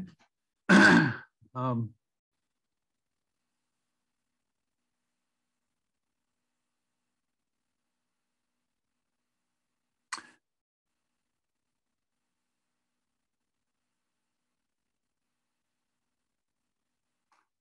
So, um, You want me to highlight it to come back to it? yeah, I, I think we should, yeah. Okay. We can review that when John is back. John Ellis knows a lot about trees, so. But it looks to me like, um, there's some, I don't know where we get the people who do the certification, the landscape professional, et cetera. That's gonna require spending of some sort. It may already be in the budget or it may not. Uh, bylaw amendment, domestic partnerships. I think this, I'm a little worried by the bottom line. Specify employment benefits relationship to domestic partnerships. Uh, That, that could really open up a can of worms. Uh, As you know, health insurance is extremely expensive for the town. Um, I, the only thing holding it back now is the uh, GIC uh, policy that you have to be married to get benefits. Um, but I'd be a little concerned about that.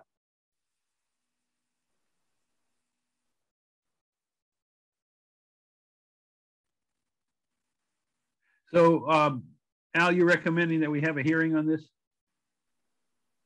I think so. What is it? I don't know if anybody else feels that way, but you know, Okay. So Tara, uh, benefits is a red flag. add, add, the add the, uh, that we have to, means we have to comp, contact the, uh, is, it is it the, yeah, the LGBTQIA plus Rainbow Commission. Charlie, I know you probably can't. I have is money. It's, this is Shailene. And I just wanted to second what I was saying. I think we should Okay. have. on it. Thank you. Okay, the next article is um, bylaw amendment, single-use plastic water bottle regulation.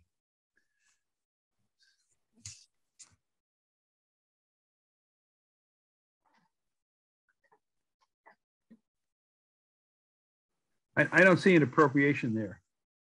It may, it may raise the cost of plastic bottles or consumer goods to the citizens, but it's not, doesn't look to me like it's an appropriation. Charlie, what about where it says provide for enforcement?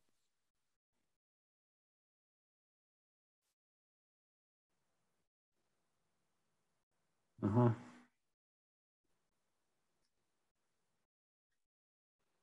Okay, um, I think you're right. We, we, we'd have a, maybe we'd have a, a- like parking meter officers, we'd have plastic bottle officers or something, I don't know. I Um, don't- I don't think this would be a big deal. You only have, let's say you have 20 places, 30 places in the town that sell water. You know, the, I think the regular health department could probably take care of this. They're inspecting those places anyways. Shailene, do you still have your hand raised? Sorry, that was leftover. Okay. Um, all right, let's, um, let's just, let's just leave that for the time being. The use of face surveillance. I don't, I don't think this is a, uh, finance committee article. Um, establish a committee on insurance costs and issues. Um, this looks like a study committee.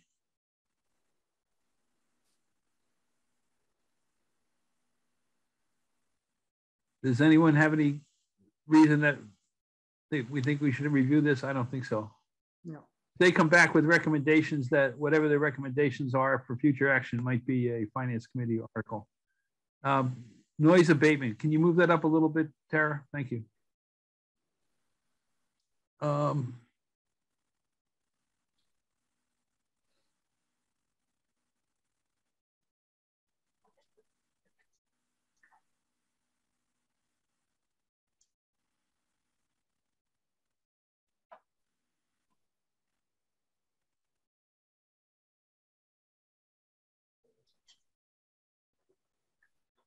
I have no idea what this means. The uh, mention of the Arlington DPW, you know, might want to ask if it has the possibility of increasing costs for the DPW, if, Yeah. if that would pass. Okay, so um, Christine, who, who do you have DPW? Who's got Chris, uh, DPW?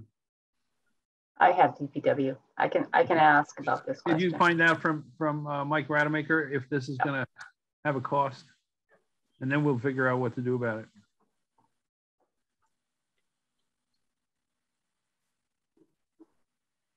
Same thing with Article T16 here.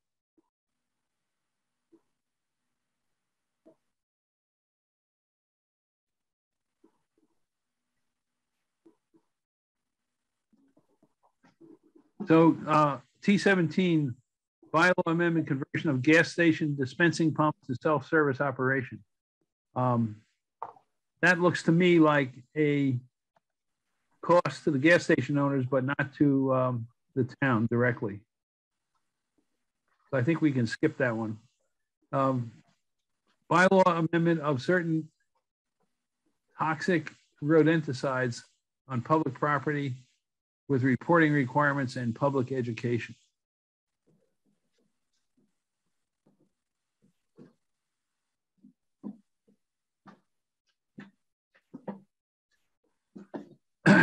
okay. Um, Annie and Wanda, this looks to me like it's going to have a cost. So, um, Yeah, let's, let, let us, when we bring Christine in, let's add, I'll add that to our set of questions for her. Okay. and See what I can find out in advance. That'd be Or great. Want to note that I'm gonna do that, and then we'll figure out, we'll, we'll just make sure she can answer the question.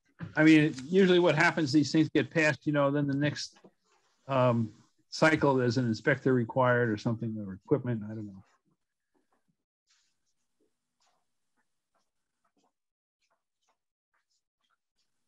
So, um, Sophie, do you have anything to do with the next article?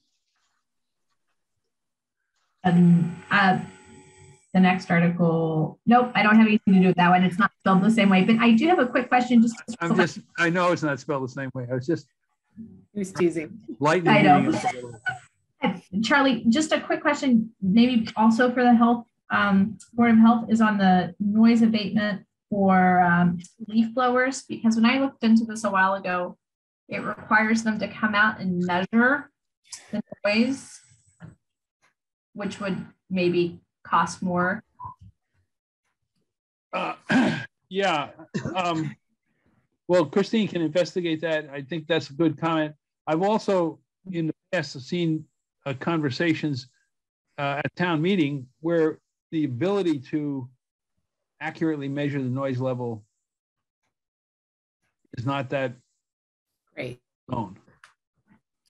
In other words, you know, being you have to you have to be a sound engineer. You have to have uh, you have to have very defined conditions like how many feet away and if the wind is blowing, it's a different sound, et cetera. So th- there are a lot of vagaries associated with that. But I'm sure Christine will get to the bottom of it. Okay, I, I think the street name uh, is not necessarily our concern here. Um, vote code enforcement. Definitely, that definitely has financial implications.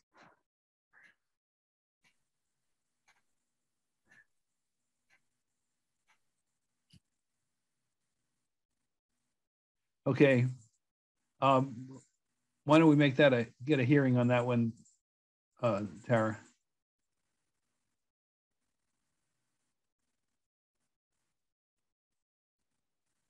The next one, uh, T21, see if the town will extend the time frame of youth and young adult advisory board. I don't think that that's just a um, keep the keep the committee in operation. That's not a problem. Vote the establishment of the town committee to examine budgetary impact of overnight parking. Boy, things must be slow at the school committee. A lot of a lot of uh, Paul Schlichtman articles here. Um,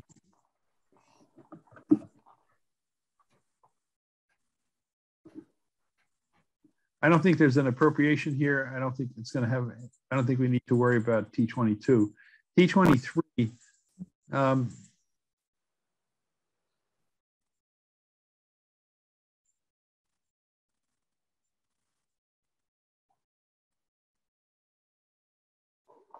I, I don't think there's any financial implication there if, if no one else does. Next article, um, home rule legislation, financial estimates and budget documents. Oh, uh, we need to not only have a hearing on this, but to vigorously oppose it. Um, right now, the manager has to, by bylaw, uh, has to report to the selectmen and the finance committee by January 15th uh, and have the budget documents to us. They tried to do this about two years ago or three years ago, I think. And this proposes to bump that into early February after the, the governor gives his uh, recommendations on local aid.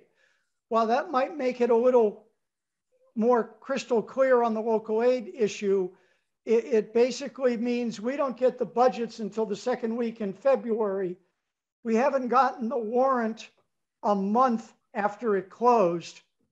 And yet now we're supposed to get everything done in March. I, I this would be a big problem unless they want to move town meeting back a month. So um, we'll do a hearing. Let's get the select board in. Um, home rule legislation, early voting for town elections.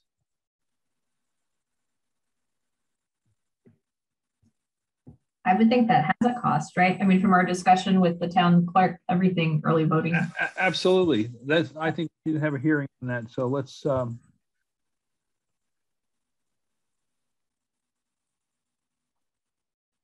Would this be a hearing with the select board or? No, the elect, elect, election modernization study committee.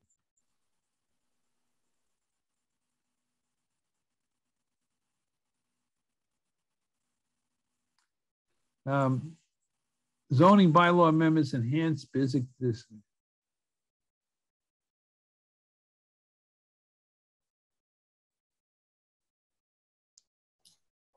I don't think there's any financial, um, anything financial that we need to review there. Um, amendment street trees. Uh, Charlie, just a quick question on that one that you said to go one back, when it says um, to limit the amount of ground floor retail space occupied by certain businesses, does that mean less commercial space and less commercial revenue? I'm confused.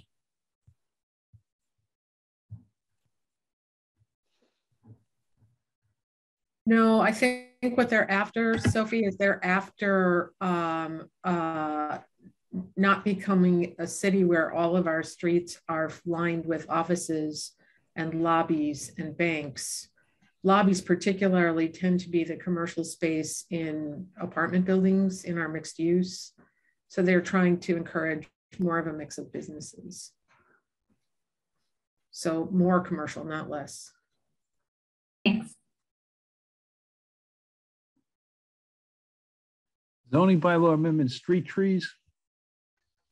Um, I just want to note that John Ellis is back and there's also a comment about tree bylaws in the chat if anyone wants to look at that. So, um, John Ellis, you there? Yes. We had an earlier uh, zoning article here. Um, Sorry, I missed it. yeah, not- not zoning, but a tree article. That I know you're our expert on the trees.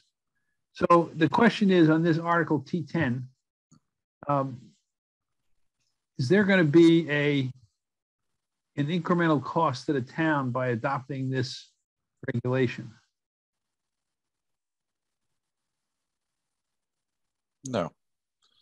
No, the, the, the tree plans are already part of the scope of work of the tree warden. He, he has a full-time position. So if you're changing the number of trees that are in a tree plan, I can't imagine that that would add any more work for him.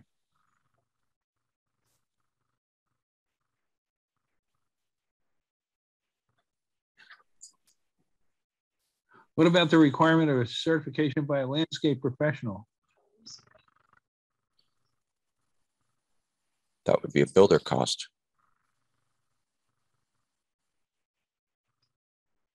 Okay, good. And let's go back to the next tree uh, article that we were just looking at. Um,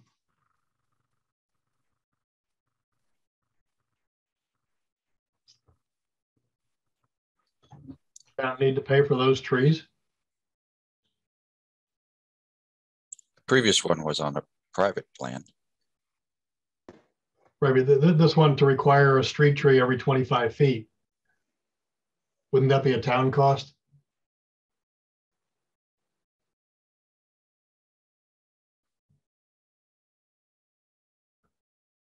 Yeah, I think, um, I think we should find that out. Um, I don't understand this one very much. We, we have a tree management plan that This is says what our goals are for tree planting. So, so uh, why don't you write to uh, Jenny Raitt? um, And, and maybe she can, actually, uh, Sophie, your, that's your community uh, planning, uh, community planning and, uh, what is, it? planning and community development manager is also the ex officio person on the zoning, or the redevelopment board. So maybe Sophie, you could check this out and see if we need to have a hearing with- with her. In other words, if the, um, if it's a, if, if the town is paying for these, paying for these trees, uh, we should have a hearing and find out how much the cost is going to be. Okay. If you look at the map, I think that's a lot of trees. I know, that's why I'm asking. So Sophie, if, you know, we, we probably have to have a hearing, but you could at least find out. If, if she turns around and says, this is always, this is a, um, a burden of private developers or something like that, then we probably don't. This looks have to it. me like a developer cost. Well, it doesn't say This that. would be tens of thousands of trees if the town was planning it. Then I, I Yeah, don't well, let's find out. Board would ask it. Yeah, I think it's a good question. I'm interested. Yeah. know. Um, zoning bylaw amendment, solar energy systems.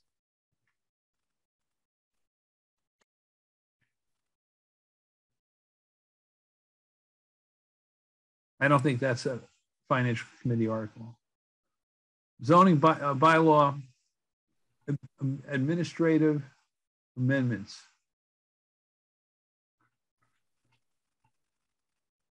Um,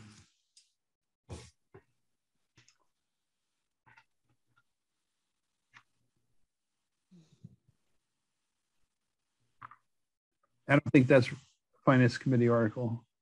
Uh, the next one is um, Article T30.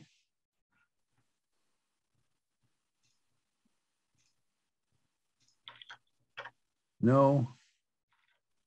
Article 331, no.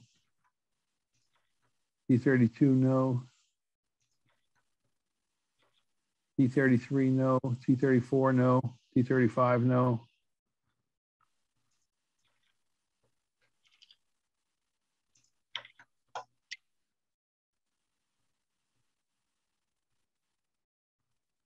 T36, no. T37,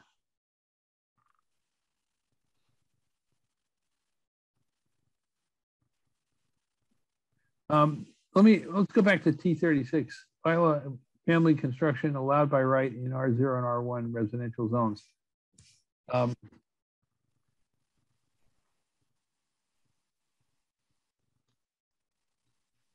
Is that gonna have any effect on the tax? Oh, it- no, we have Andy LaCourt here. You can hold the hearing anytime, Charlie. I'm here every night. Okay. You can present it, but you can't vote. That's okay. All right. Do you So want need a a hearing hearing on this? Is that gonna, it- it- uh, let's not have the hearing tonight. Let's just make the note that it's Andy LaCourt. I, I don't believe it will have a negative financial impact, but if you want to discuss it, I, I'm happy to be grilled. Should I put in that we need a hearing, Charlie? What is, uh, is there any opinion on this? It's a, zo- it's a straight zoning question. Let's leave it be. Um, Zoning law- bylaw amendment, release, increase floor area ratio for mixed use structures. I don't think that's a zoning, that's a no. Um, zoning map amendment and expand business districts, that's a no. Uh, zoning bylaw apartment parking minimums, I would say that's a no. Uh, open space uses. I would say no. Bylaw amendment. Map amendment requirements. I would say no. Um, zoning bylaw amendment appeals, no. Oh, that's a Sophie Migliazzo request. Let's check that one out. No, I'm just kidding. Just, Oh, sorry, sorry. No worries. um, let's see, provide for the right of appeal for any person requested in case the alleged violation has not been abated or to require civil proceedings to enforce the bylaws to be initiated or take any action related thereto. I think, I think that's, I don't think that has a financial implication. Local option taxes. To see if the town will vote to accept local option taxes. That's just a standard article. That's our, that's our article, that's- yeah. Um, Appropriation, other post, post-employment benefits, that's our five hundred. that's the, um, Yeah. that's article, more or less, right? Yeah, that's, uh, that's our article. You want a recommendation on it? Not right now. Okay. Yeah, well, you were, you're, yeah, we're gonna rec, make a recommendation. Yeah, why don't you just put recommendation next to that one? And the same with T forty-four, just for. We have to, we have to take a vote on it, yeah. Yeah. Okay, and same with the ar- Article T forty-six. Recommendation needed. Article T forty-seven, recommendation needed. T forty-seven. Recommendation needed. Now those are, those are your finance uh, group is gonna do those, right? Yeah, the, the, the rest of the uh, articles, except for the resolutions, should be finance. Sophie, your hand is up. Yeah, I just quickly, I have a question back on the parking minimums. Is there ever a concern or discussion about if you don't have parking at apartment buildings, that that increases parking on street and increases enforcement requirements? Um, I'm sure we've had that discussion, but I, I'm not sure that that's, that's sort of an indirect um, issue. I, I think that's really a zoning board issue, unless anybody else has any other thoughts on that.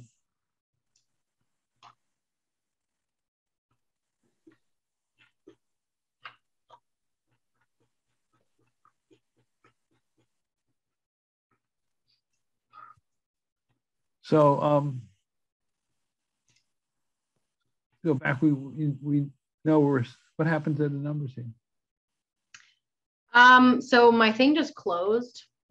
So yeah, I guess I missed everything since or nothing got saved and or nothing got saved after the last time I saved it. So I will have to go back and look at the recording again if anyone remembers what number. Okay, number yeah, you can, let's not, let's not do that now. Why don't you go on to, um, right, there.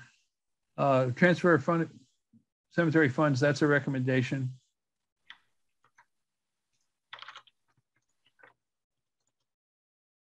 Okay, pro, overlay reserves, a recommendation. Stability, stabilization funds, a recommendation. Stabilization. These are all recommendations.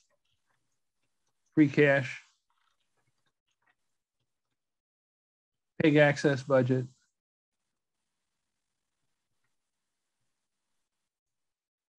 Do we need a hearing on this? Uh, no, we- we'll, when I say recommendation, we'll, we'll review it and vote for it uh, on the finance committee. It's a finance committee article. Gotcha. Um, Endorsement of the CDGB application, that's, we don't need to do that. That's the Board of Selectmen's business. Revolving funds recommendation.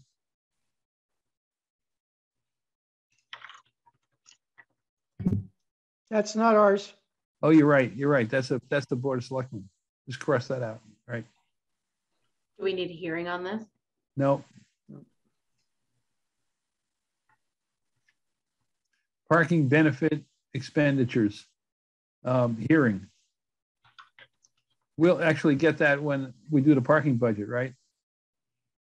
Correct.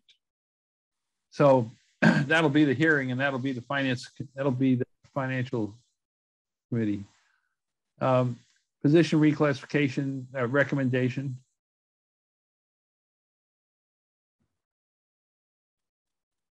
Collective bargaining, um, that is a hearing.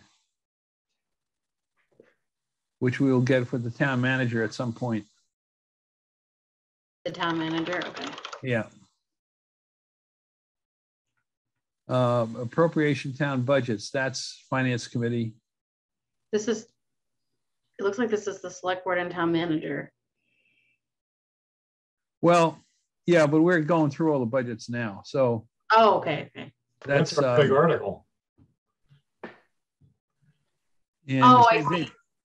And I the see. capital budget, we'll have the hearing with the capital budget committee on that. That's already scheduled.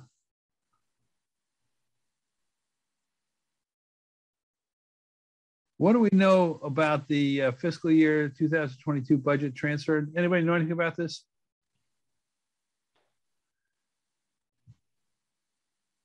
Okay, so David, you and um, I think we probably need to have a hearing on this, but um, or it could be a recommendation by uh, David and Sophie. Find out what it's about. Okay. May have uh, Charlie? it may have something to do with ARPA funds. Yes. Yeah, I, so I'm happy, Dean, I'm happy Dave's taking it, but can, if it, I, I know this came up at a school department budget meeting. Can't remember what came up. So if it ends up falling to be a school issue, can we just administratively kick it over to the school budget subcommittee to look at? Yeah. Thanks. Yeah. Um, Charlie, I'll, I'll check on that tomorrow. okay. Um, appropriation transportation infrastructure fund.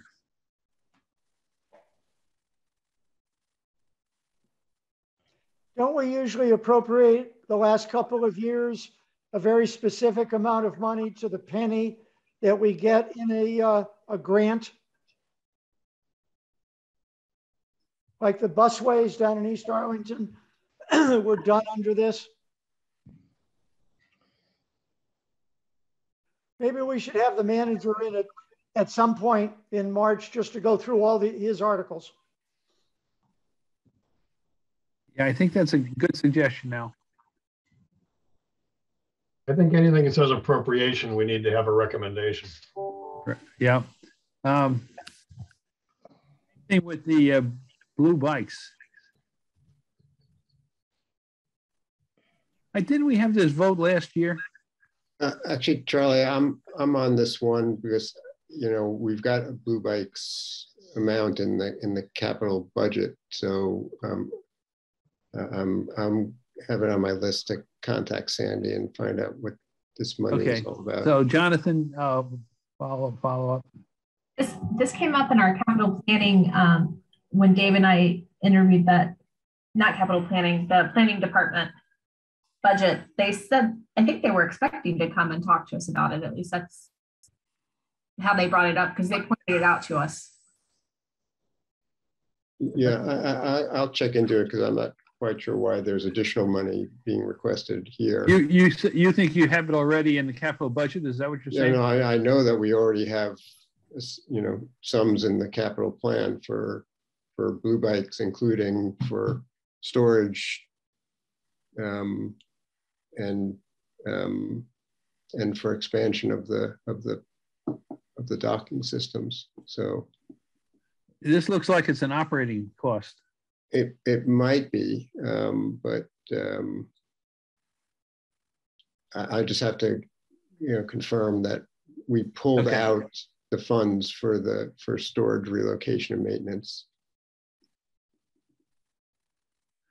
And I guess one of the things, if you do, if you do wind up talking to Sandy about that, um, I mean, if, if this is some sort of an ongoing cost, it ought to be in a budget as opposed to warrant articles, I would think.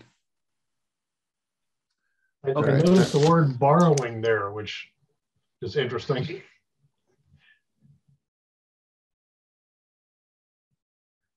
Yeah, Which makes it sound like capital, so. sure does, yeah.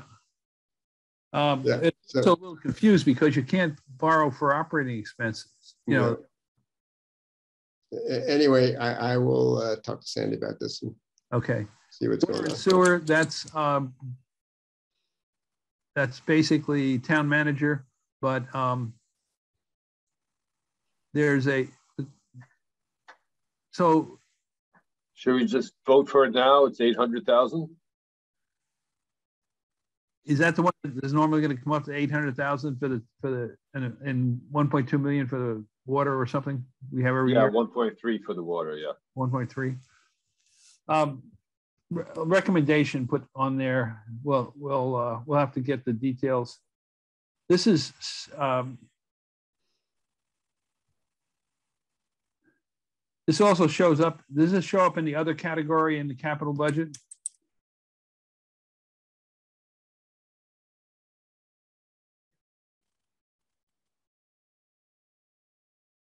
John Wallach? I'm sorry. you- No, You're this is- asking if the appropriation for the sewer and water is in the, uh, capital budget? Uh, well, there is, it used to be that there was, um, we always have these two articles, and I've just, Yeah. Not, it was in the other category also in the capital budget. I Um, these articles, I, again, we'll, we'll have to check on that. Okay. Charlie, we usually. But uh, Grant, Grant, the- these, what- this is Grant's article typically, right? Yes, and the, and the, uh, water and sewer budgets usually have a, a hundred thousand for each of those, uh, budgeted. So the total is a hundred thousand higher. Yeah. Okay, recommendation, um, in both of those. I, Charlie, or Mr. Chairman, I think these are needed to be separate because the votes have very specific language from the MWRA uh, that'll be awkward and have to be voted separately as opposed to a line item in the capital budget. You're probably right. Okay. Um, that's another Grant Gibeon article.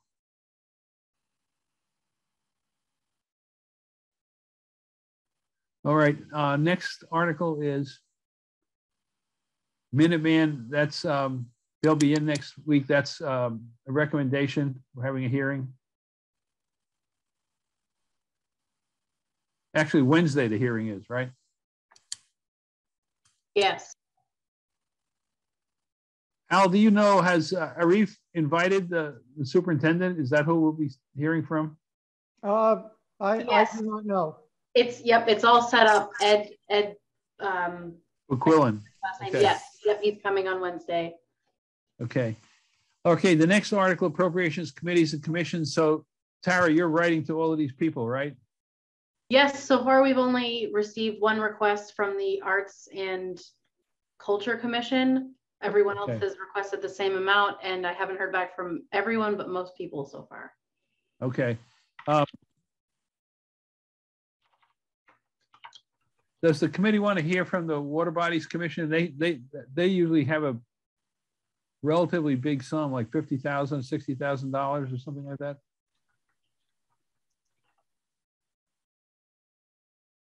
Do I hear anything? Are they asking for more money? I Haven't heard back from them yet. I mean, I, I, the question is, what are they doing with it? That's, Right. that's my concern, you know, We usually want to hear their plan. yeah. Yep. So, yeah, follow up with them, Tara. I think we want a hearing. Uh, town celebrations, uh, we need to get that information from the manager. And miscellaneous appropriations, um,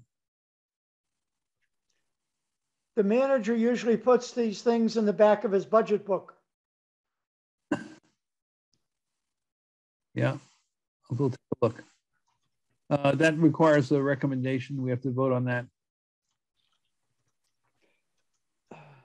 Um, oh, there's a separate article for the water bodies fund. That's the one. That's where we, well, this is, is, Okay, maybe I didn't email them. I'll look into that. yeah, that's, we definitely want to have a hearing on that article. Charlie? Yes, John. Uh, just to go back, I, I can confirm that the, uh, the budget has separate uh, capital line items for water system rehab and sewer rehab. In, in the, uh, in the other category, right? It's under the DPW. Um, you, you've got, uh, you've got, um, 1.4 million for water system rehabilitation and then additional um, um, additional 900,000 for sewer system rehab. Okay, but that is, as, that's a, um, in the quote unquote other category. It's not a direct. We have these, we have these two articles every year. It's what I, I believe the former chair used to say they charge too much and then lend it back to us at zero interest. Right. Um, if you look at Articles 59 and 60 from last year's FinCom report, it has the, you know, particular recommendation that we can probably just copy paste. Check the Right. numbers. Okay, Uh, and the answer to your question is yes, it is it is classified as other. Yeah. So Okay. it's, it doesn't go to the 5%. right. So, um, going down past, um, the folk school, can you go down a little further, Tara, please? Um, so, Community Preservation Fund. So we, uh, would you contact them? We normally have a hearing and then we endorse their uh, plans. So we should have a hearing. Um,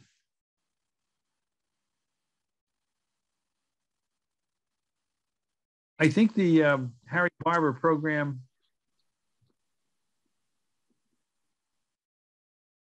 Council on Aging. Oh, find out if they're, if, did we vote that last year? Does anybody remember? Yeah. I think it's 7,500. Oh, Okay, wait, so- no, we voted zero. No. We voted every year and it's usually 7,500. But I think one year at the beginning of the pandemic, we changed it to zero. Right. So if it's, if it's 7,500, Tara, we don't need to have a hearing, okay? So just check with the, um, Council on Aging.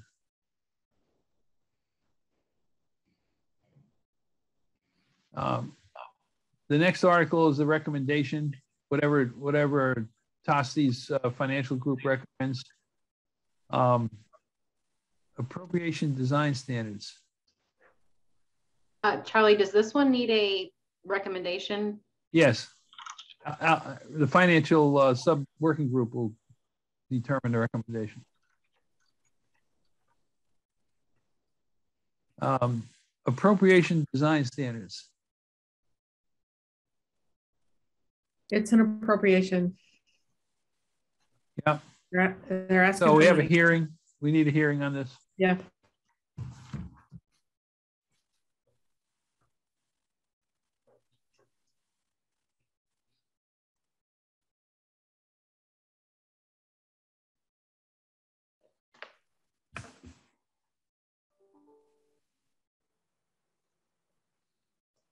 Please tell me we don't have to hear any resolutions, Charlie.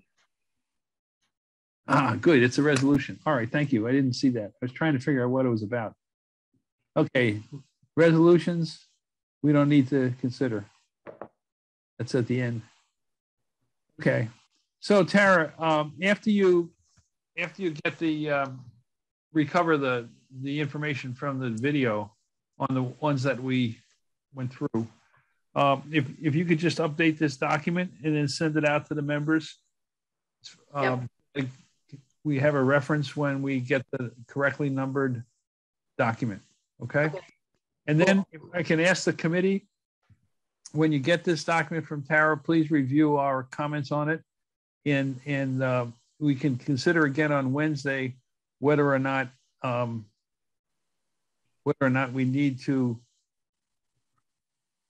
you know, think about any changes. There be, there might, might be some information coming back from some of the some of the uh, members whose names are attached to some of these uh, warrant articles that we would have to have a hearing or not have a hearing or whatever. So, in other words, let's look at this um, activity today as a first reading, and we may wind up having a second reading before we make a final decision on hearings on all of these articles.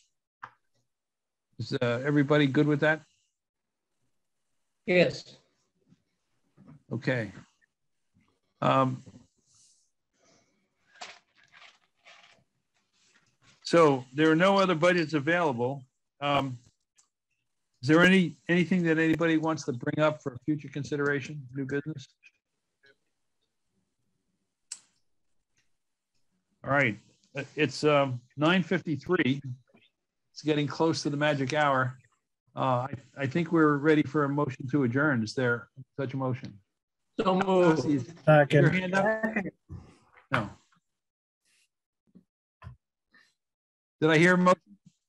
So Yes. Yep. Second. Second. Okay, by acclamation, we're adjourned. Thank you very much, everyone. Appreciate your time.